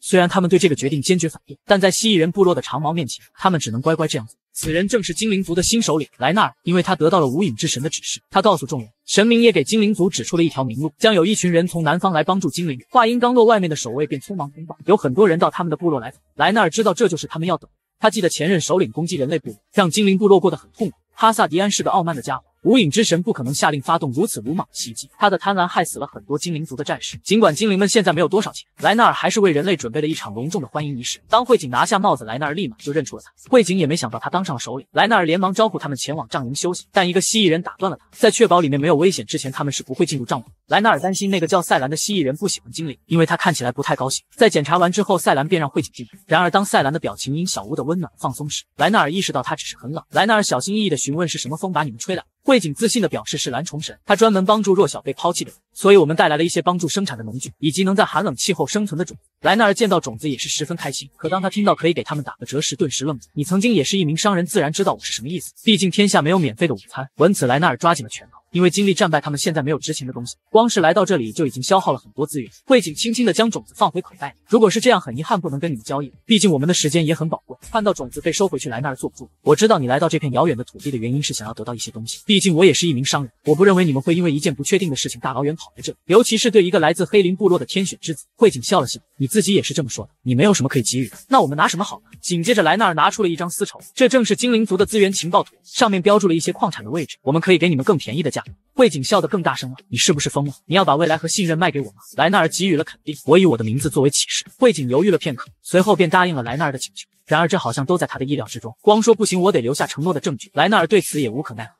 他知道矿产在未来会变得更有价值，但前提是他们得有未来才行。相信无影之神不会抛弃我们。两人同时在合同上盖了手，紧接着便是向自己的神明起誓。与此同时，对话框提示：第三大洲北海岸第一次信用交易成立，这也意味着检查自己信用的文化已经开始。到目前为止，对于失落的世界的个体来说，世界只意味着自己的不足，其他种族只是一种威胁。这也导致了他们不知道如何与游牧部落进行交易。但是现在星云有了定居的部落，以及游牧部落沿着小路迁移，他们的交易开始被记录下来。声誉和信用变得更加重要，世界的格局将会再次扩大，而星云又该如何带领自己的部落走向胜利？曾经濒临死亡的蜥蜴人部落，在克拉克拉的带领下走向了一个国家，但眼下出现的问题却让星云感到脑壳痛。有弊有利的封建制和君主制，他该如何选择？克拉克拉最终攻下了大陆的南部，看着四处逃散的哥布林，克拉克拉知道这一切都结束了。他摘下了脸上的牛骨面具，随后独自一人朝大陆的尽头走去，鲜血还残留在他的衣服上，看着一望无际的大海。他抬头仰望着，这里就是大陆的尽头吗？克拉克拉带着蓝虫神的意志征服了南部大陆，现在黑灵部落的名声无人不知，无人不晓，一切都摆平了。接下来我该怎么做？星云默默地看着他，他知道克拉克拉在想什么。同时这也是他最头疼的问题，因为每一个制度都有缺点。封建制度是指国王挑选少数封建领主，并给他们土地，诸侯们守护各自的土地，减轻了国王的负担。但诸侯之间的关系无法控制，很容易频繁发生内战。虽然频繁的战争助长了技术的发展，可管理太过困难。一不小心将会万劫不复。另一个是君主制，国王从首都统治全国，官僚分支执行行政的统治方法。这也是星云内心最想选的路线，因为稳定的权力结构、劳动分工使得行政工作更加专业化，而且由于中央政府强大，更容易动员军队。然而，中央集权的君主制是无法建立，因为要准备的东西太多。道路、港口、国王的正统性选拔官僚的制度。星云随即问道艾尔达：“遇到这种情况，我该如何选择？”艾尔达耸了耸肩，不是因为不知道，而是不知道为什么星云已经知道答案了还要问他。画面一转，来到另一边，克拉克拉将所有人召集起来开会，因为他昨晚做了一个奇怪的梦。闻此，其他蜥蜴人只能默默地看着他，因为他们知道克拉克拉说的不是梦，而是神明的启示。卓尔率先询问是什么样的梦境。克拉克拉用棍子在地上画着什么。我梦到我飞起来了，并且穿过了无数山村荒野，那些都是我们走过的土地。其他人听到克拉克拉说的，内心充满了好奇。虽然听起来很荒谬，但从克拉克拉嘴里说出来的，他们深信不疑。片刻之后，克拉克拉停止了手中的动作。随后用尾巴指了指画中末尾的地方，这里就是我们现在所在的地方。但他不知道这片区域该如何称呼。一个蜥蜴人举手说了一个名字，我们可以叫他马加南，他有土地尽头的意思。克拉克拉满意的在这里写下一个名字，随后他又走了一步，画了一个点。这就是我们赶走红皮兽人的地方。有人记得这个地方叫什么吗？丢尔记得它叫萨蒙。克拉克拉想了想，因为叫萨蒙的地方他听说过很多个，这里是大陆南部，所以叫它南萨蒙。随后克拉克拉将没有名字的地方都标了出来。经过大家的讨论，很快就确定下来。现在还剩下最后一个位置。他抬起头来询问最后一个没有标注的区域，但大家都不知道叫什么。这时有人想起来，那里是一片没有战争的区域，因为鹦鹉螺就栖息在那片地方。所以其他种族都不愿意靠近。卓尔停下手中的笔，看着克拉克拉。我们好像没有人知道那块地的名字。本此，克拉克拉用棍子轻轻敲着地面。也许我知道它的名字。这里虽然被群山环绕，但只要整理藤蔓和小树，就很容易开辟道路。山势深处有一条与溪谷相连的河流，河的下游有一片平坦宽广的土地，而河流的后面贯通了大海。卓尔发现这就是克拉克拉梦境讲述的地方。克拉克拉点了点头，没错，他的名字叫奥拉森，意思是众神矗立之地。按照神明的旨意，我将成为奥拉森之王。闻此，众人皆是充满了欣喜和期待之色。最后，克拉克拉将族人召集起来，我们的家乡将定在奥拉森。在克拉克拉的带领下，所有的蜥蜴人雀跃起来，看着脚下这片土地，星云感叹起来：布置了这么久，终于迈出了这一步。想要对抗的人也是有。因为建立一个国家需要进行很多事前工作，首都已经确定在奥拉森这个地方，所以克拉克拉必须广而告之，并且还开辟了一条道路通向奥拉森。最后，克拉克拉派遣了管理员，克拉克拉将他们命名为战士，他们拿着宝剑和法典管理着那个地。看着克拉克拉的安排，星云很是满意。慧景和莱纳尔得到了侯爵之位，同时也派人与他们沟通协调。虽然这一切都显得原始而笨拙，但一个国家的雏形已经出来了。与此同时，对话框提示你的国家进入了初期君主制。身后的艾尔达直接愣住，他没想到星云两个制度都要使用。当我权衡利弊，决定什么对目前的情况最好时，我别无选择，只能两者兼而有之。艾尔达低头瞟了一眼星云，但是为什么我的部落你也分封了？星云疑惑地看着他，露出了一声惊讶之色。哎呀，那也是我的地啊！艾尔达直接被星云弄沉默了。不演蜥蜴人只是简单的一句话，又把青色龙虾人惊出了一身冷汗，因为极具穿透力的声音就宛如一尊杀神，让他们的内心感到十分恐惧。但正是这样的人，却让蜥蜴人进入海上贸易时代。在星云建立了国家之后，塔塔尔就被派来了最南部的马加南，担任这里的最高指挥者。由于这里的生活过于平淡，他总是想起关于与克拉克拉征战的生活。一旁的年轻蜥蜴也随之笑着附和：“塔塔尔先生是最棒的战士，所以您还被任命为光荣的战士长。”这让塔塔尔不忍自嘲起。那个最棒的战士失去一只眼睛，成了无用之人。所以被派来这个地方安静的老去。年轻蜥蜴人顿时一惊：“不不，我不是那个意思。我想克拉克拉首领是想让您守护马加南这片土地，因为这里现在是我们的领地。这样的生活很无聊。如果有什么东西从大洋彼岸传来，我就不会那么……”话音未落，塔塔尔注意到海面上有什么东西在靠近。随后，一群有着青色外壳的种族出现在两人面前。塔塔尔在草丛后面仔细地观察着这群外来者，看他们没有兵器，塔塔尔知道可以和他们沟通，于是便让年轻的蜥蜴人藏在后面。紧接着，一道洪亮的声音在龙虾人耳边响起：“外来的陌生人，我是马加南的执行官，请说明你。”们来这里的来意。片刻之后，只见一个龙虾人慌慌张张地解释道：“我们是青龙虾部落，因为海浪的原因，在海上迷路。”此刻，身后的年轻蜥蜴人感到十分紧张，因为他听说塔塔尔对外敌毫不留情，他现在需要做好与龙虾人的战斗准备。与此同时，塔塔尔带有穿透力的声音再次响起：“原来如此。”在大海的另一边，龙虾人纷纷被塔塔尔的气势吓出了一身冷汗。随后，只见他微微一笑，给他们准备一个临时住所。肚子饿了，最好把剩下的粮食也给。这让在场的所有人顿时傻眼。画面一转，来到第二天，在受到蜥蜴人的款待后，龙虾人很是感谢，随后便离开了这里。而年轻的蜥蜴人感到非常好奇，为什么要帮助他们？如果是我，我会毫不犹豫地将他们赶走。塔塔尔意味深长地看着龙虾人离去的方向。你知道我的眼睛是怎么失去的吗？那一天，他接受克拉克拉的命令执行任务，遇到了一些不同种族的流浪者，他们被巨魔抓走贩卖。塔塔尔选。择加入了这场战争，并且他一个人解决了十多名巨魔人，而代价就是他失去了一只眼睛。最后，他在克拉克拉的面前承认了自己的错误。克拉克拉并没有责怪他，以后所有人都会成为你的左眼。当时克拉克拉还问一个问题：为了其他部落的人失去了眼睛，你不后悔？当时塔塔尔是这样回答：我听说首领在荒野中游荡，受到了蓝虫神的指引，但蓝虫神不要任何的报酬。克拉克拉明白了他的意思，你是说这是神明的指示？塔塔尔羞愧的低下了头，就算是没有他也会那样做。克拉克拉沉默了片刻。也许你的做法是对的。紧接着，克拉克拉告诉塔塔尔，如果以后有人对你的做法产生质疑，就把今天的故事讲给他听。画面一转，来到几天后，塔塔尔再次收到龙虾人的消息，于是他很快就来到海边。鲁伯很热情的跟他打招呼，而他们今天来正是为了购买蜥蜴人手中的丝绸和铁器。为此，他们带来了龙虾部落最值钱的物品——一些闪闪发亮的石头。但塔塔尔对这个东西一窍不通，这也是他第一次见到，所以不知道他们的价值几。比起这些，塔塔尔对他们的船只更感兴趣。鲁伯似乎很为难，因为制作船所需要的时间很长。如果没有，那么我们就没有下一次交易。听到塔塔尔这么一说，鲁伯开始慌起来。也许我可以从敌人那里偷一张过来。最后，两人就此达成协议。两人没注意到的地方，一只白色的鸟正注视着他们的一举一动。居住在南群岛的甲壳类种。与此同时，星云的信息窗口弹出了种族冲突，也就是说，他们背后可能有玩家操控。至少这些船只肯定是玩家的技术，已经算是相当的先进。如果珍珠通过大陆进行交易，应该会卖得很贵。比起这些，星云更喜欢的是造船技术，因为有了这个就可以制造好船，正是开启海上贸易的契机。从文明水平来看，龙虾人以后应该会被定为黑灵的下属。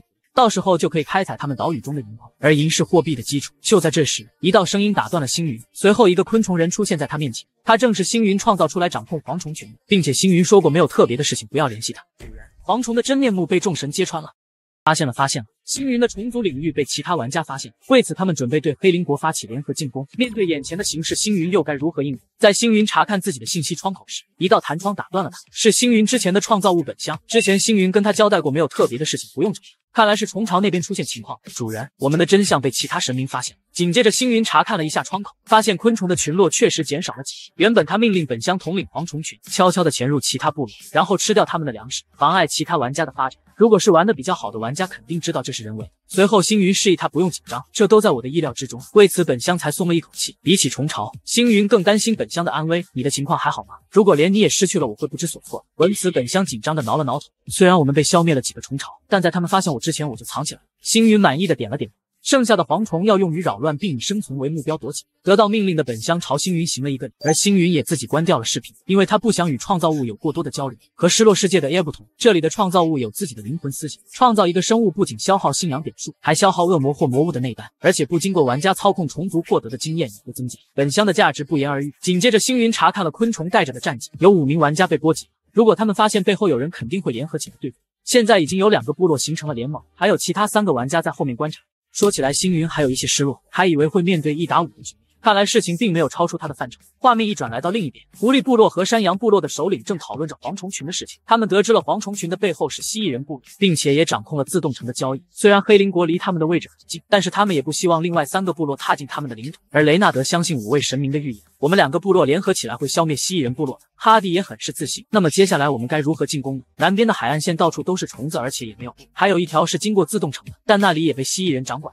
所以他们打算从蜥蜴人手里把自动城抢过来。两人均露出了贪婪的目光，很快就把方案确定下来。一个月后，集中军队朝自动城出发。时间很快就来到一个月后，他们集合了八百狐狸战士和一千一百名山羊战士，组成了第三大洲最大的远征军。而两位玩家默默的在天上看着。克拉姆斯是山羊族信奉的神明，在以前失落的世界排名第一千四百三十名。他紧张的问到另一位玩家：“你打算怎么给军队补给？”回答的人看起来像一个普通的人类女。他留着长发，穿着一件露肩的白色短裙。如果他不是漂浮在空中，他怎么看也不会像个神。我会让他们掠夺经过的 NPC 村庄，直到他们到达荒野的内部，然后他们会绕过北部海岸。与此相比。我还是联系不上星云，此人正是狐狸部落的玩家伦达，曾经排名一万八千七百零二名。原来他们一直在尝试联系星云，但一个月都联系不上。殊不知星云已经把他们都拉黑了。如果联系上了，一定要他赔偿我们五名玩家的损失。伦达也很无奈，现在还增加了军队的成本。但是现在即使答应谈判，也为时已晚。一千九百人的军队足以把他拿下，而他沦陷只是时间问题。就在这时，伦达问了克拉姆斯一个问题：神明的外貌是从现实中带来的吗？这让克拉姆斯很是疑惑。还没等他回答，窗口的消息就打断了。两是玩家艾尔达的视频通话。我们的联合军在路上肯定会遇到精灵部落的。可能是因为这个原因想进行协商，或者想耍点计谋。他们得知艾尔达与星云的同盟是比较松散的关系，所以他们推断艾尔达会背叛星云。克拉姆斯提议可以与他沟通，说不定这一次谈话会让他们产生间隙。伦达随即点击了确定键，一个自带花瓣棒、长相如同精灵的人出现在两人面前。我是精灵之神艾尔达，这可把伦达看傻眼，随后愣愣的回了一句你好。紧接着艾尔达可怜巴巴的表示要寻求帮助，两人都没想到艾尔达是一名角色扮演玩家。伦达皱了皱眉头。你说的帮助具体是指什么呢？艾尔达默默的挤出了一滴眼泪。我在星云的压迫之下不得不屈服，可是我也没有办法。他打败了索隆戈斯和林昌熙这些玩家。闻此，伦达顿时一惊，难道没有你的帮助吗？艾尔达摇了摇头，你们难道不知道星云在失落的世界的排名吗？他一直稳居第一名，这让两人直接傻眼。他们还以为星云的名字只是和那名玩家重名，现在他们知道了第一和第二名都同在一个大陆上，还真是倒霉。不管怎样，我卑躬屈膝的祈求饶命活到现在，所以现在请允许我帮助你。伦达看了一眼克拉姆斯，随后交流着什么。如果要我们相信，我们需要星云的情报。为了获得您的信任，我愿意提供您所需要的一切。随后，艾尔达一挥手，所有的消息全部在两人面前显现出来。顺便还卖了一波惨，你们不知道我在星云手底下有多惨。看到艾尔达通过的信息，两人也很是惊讶。星云从你身上夺走了太多东西，所以我想让你们帮我打败星云。虽然我没有军队可以支援，但我知道他对你们的作战计划。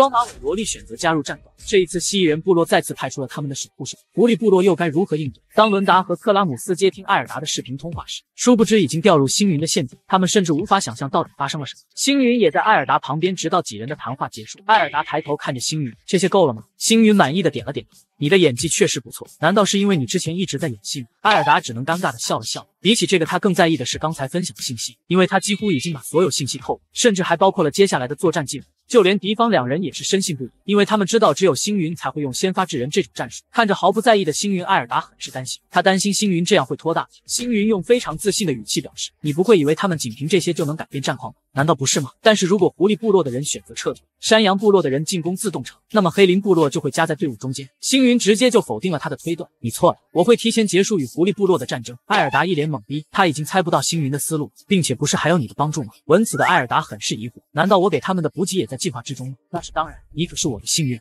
画面一转，来到另一边，狐狸部落突然收到了一条噩耗，有很多士兵突然吃坏了肚子，这让法蒂很是生气，随即就拔出了腰间的佩剑，但被一旁的副指挥玉北拦了下来，因为到昨天为止食物都没有出现问题，直到早上吃了精灵补给的食物，它们表面上很新鲜，但里面可能含有毒药。而玉北很快就猜到了是蓝虫神的手，因为传闻他擅长操控虫子，并且精灵和蜥蜴人本来就是一伙。与此同时，一个小弟慌慌张张地打断了两。因为他们在前方发现了蜥蜴人的大军，人数起码在一千左右，甚至更多，这让哈蒂陷入了纠结。因为拉肚子，现在能战斗的人员只有九百。如果是和蜥蜴人同样的人数，他们必败无疑。哈蒂随即就宣布撤退，然后掉头前往附近的森林，在哪里他们可以利用体型打游击战。得到命令的狐狸大军浩浩荡荡的改变方向。此刻的哈蒂希望山羊那边快点对自动城发起进攻，这样他们就会回去支援了。可就在这时，一道黑色的身影突然堵住了他们的去路。一只巨大的螳螂早已埋伏在他们的必经之路上，竟然敢踏进蓝虫神的领地，其罪当诛。突如其来的巨大生物人狐狸战士们不知所措。下一瞬，无数巨石朝他们砸来。见此的哈蒂连忙示意士兵放弃物资，但玉北却阻止。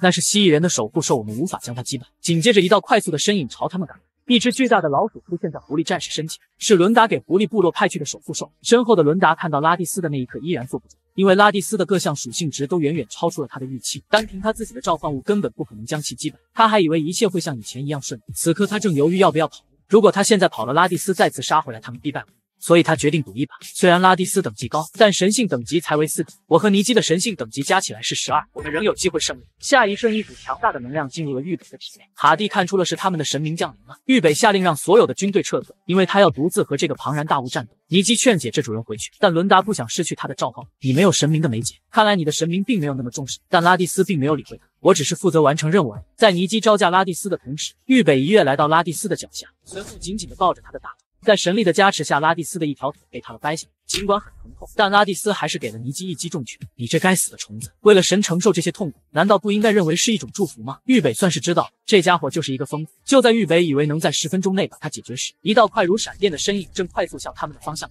星云将自己十二级的神性力量附着在克拉克拉的身上，在几人的目光中，克拉克拉一跃而起，一点寒芒先到，随后枪出如龙。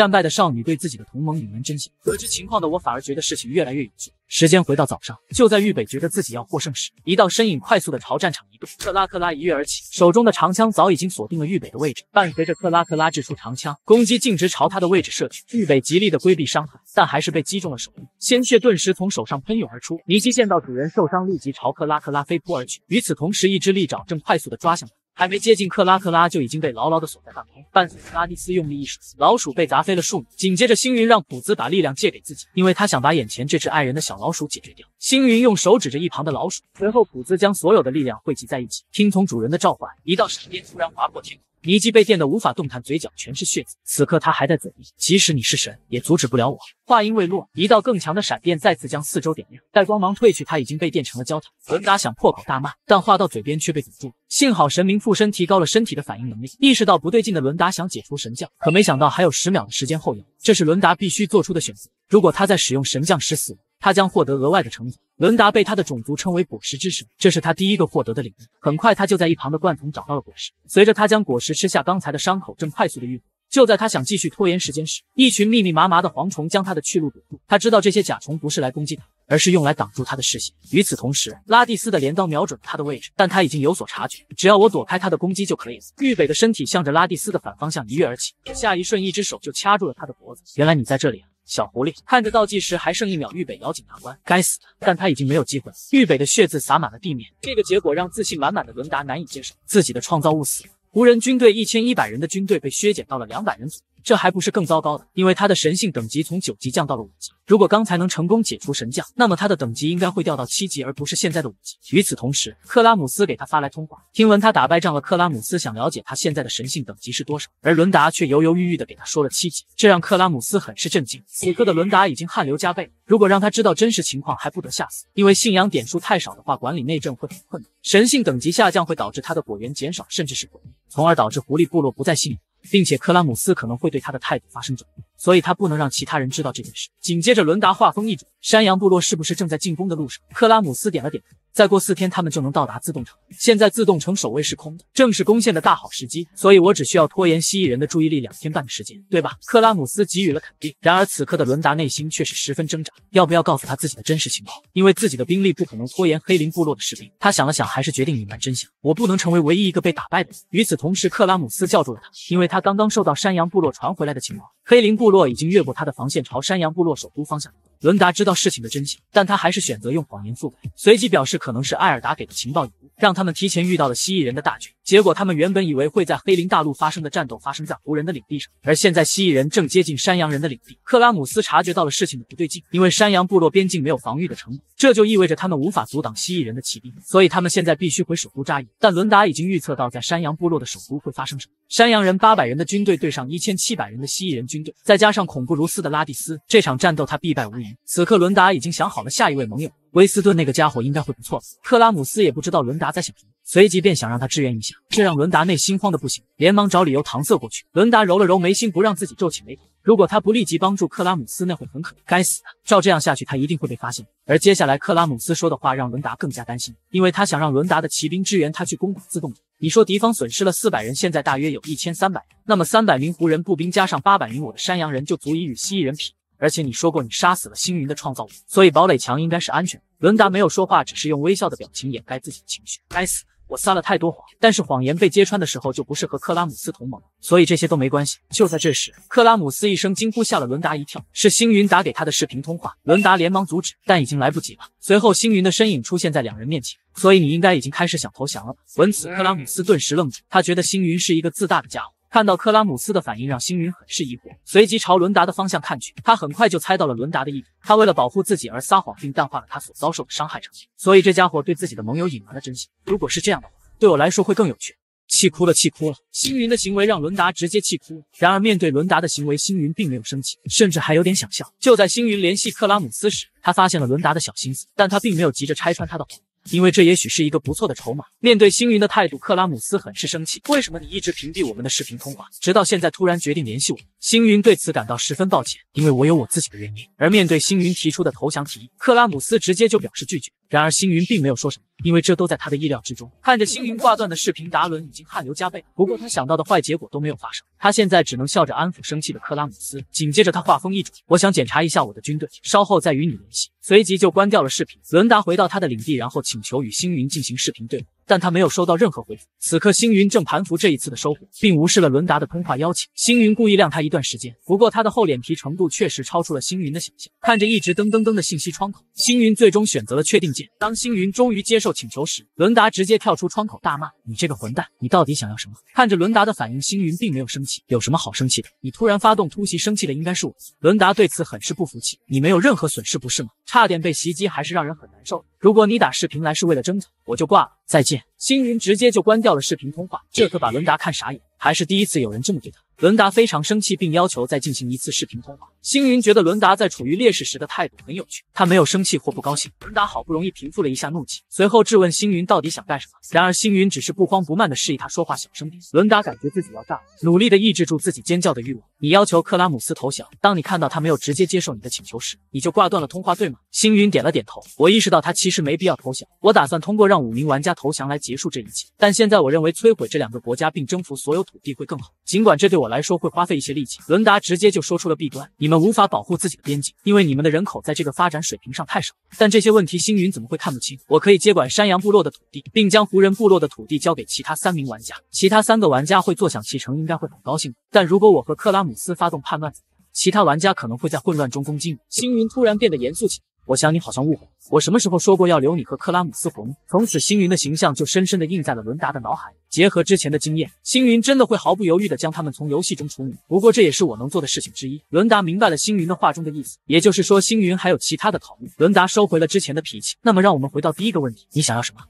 有关湖人部落和克拉姆斯的信息，还有巨魔的信息。这让伦达皱起了眉头。克拉姆斯的还好说，但威斯顿并不是我的盟友。星云直接就打断了他。我想你一直误解我的话。我告诉你要与威斯顿结盟获取信息，至于你怎么做就不关我的事。伦达对星云的看法再次刷新。你是要我当双重间谍吗？你要我接近威斯顿和克拉姆普斯挖掘情报？伦达生气的用拳头不断捶打窗口。别搞笑了，那就等于让我当冤大头啊！你难道以为自己赢了别人一次就高人一等？星云用食指指着伦达的脸，你的谎言才是问题所在。我不需要做其他任何事情，我只需告诉克拉姆斯关于我们战斗的真相，并告诉威斯顿不要与你结盟，因为你是个骗子，而你将会被四大盟友孤立。届时，你一个五级的神明在大陆中心该如何立足？此刻的伦达很是生气，但又无可奈何。紧接着，他结束了视频聊天，他开始思考接下来的计划。让我们想想吧，一定会有办法，一定有办法。很快，伦达就来到了湖人的首都米兰。这里远离边境，所以湖人对即将到来的战争没有丝毫恐惧。在一座小神殿里，一位湖人正在祈祷。这不是关于战争的祈祷，而是感谢神让身为木匠的湖人安全的完成当天的工作。得到祈祷后，伦达的信仰值增加了一。伦达闭上眼睛思考了一会，该死！伦达再次请求与星云进行语音通话。我接受你的提议，我已经别无选择。牛骨面具下露出了一抹笑容。那么就让我们先听听关于湖人和克拉姆斯的信息。最终与联合部落的战争结束，克拉姆斯似乎很难接受星云的提议，但有伦达在其中周旋，他只能妥协。他把自己逼到了这个地步，无论付出什么代价，他都必须阻止这场战斗的真相被揭露。画面一转，来到另一边，经过这一次的几国大战，同时也促进了商业的飞速发展，所以汇景邀请了黑林国各地的商人代表参加这个聚会，顺势成立了商业联盟。然而其中最大的问题就是关于信誉，因为每一位商人都来自不同的部落，并且信奉的神明也不一。这不利于商盟的发展。虽然我们的物种差异无法改变，但信仰是可以改变的。巨魔很好奇慧景要用什么办法解决神明的事情。紧接着，慧景拿出了一枚骰子，用它来决定，不是更有说服力吗？与此同时，对话框提示由慧景个体主导的第五个水车建造完成。星云在窗口看着商盟发生的一切，没想到慧景用自己的恶魔概率控制了最大的还真的是有一点厚脸皮啊。但星云对此并没有觉得有什么不妥。即使在资本主义尚未盛行的过去，资本家也总是追求扩张，小到中世纪村庄的行会，大到国家同盟。所以，对于玩家来说，如果这种组织的领导者是自己所拥有的种族的一部分，那也是一件好事。按照目前的情况来看，国境在一段时间内不会有太大的变化。接下来就是商业时代的战争了。在此之前，我也要做好接下来的打算。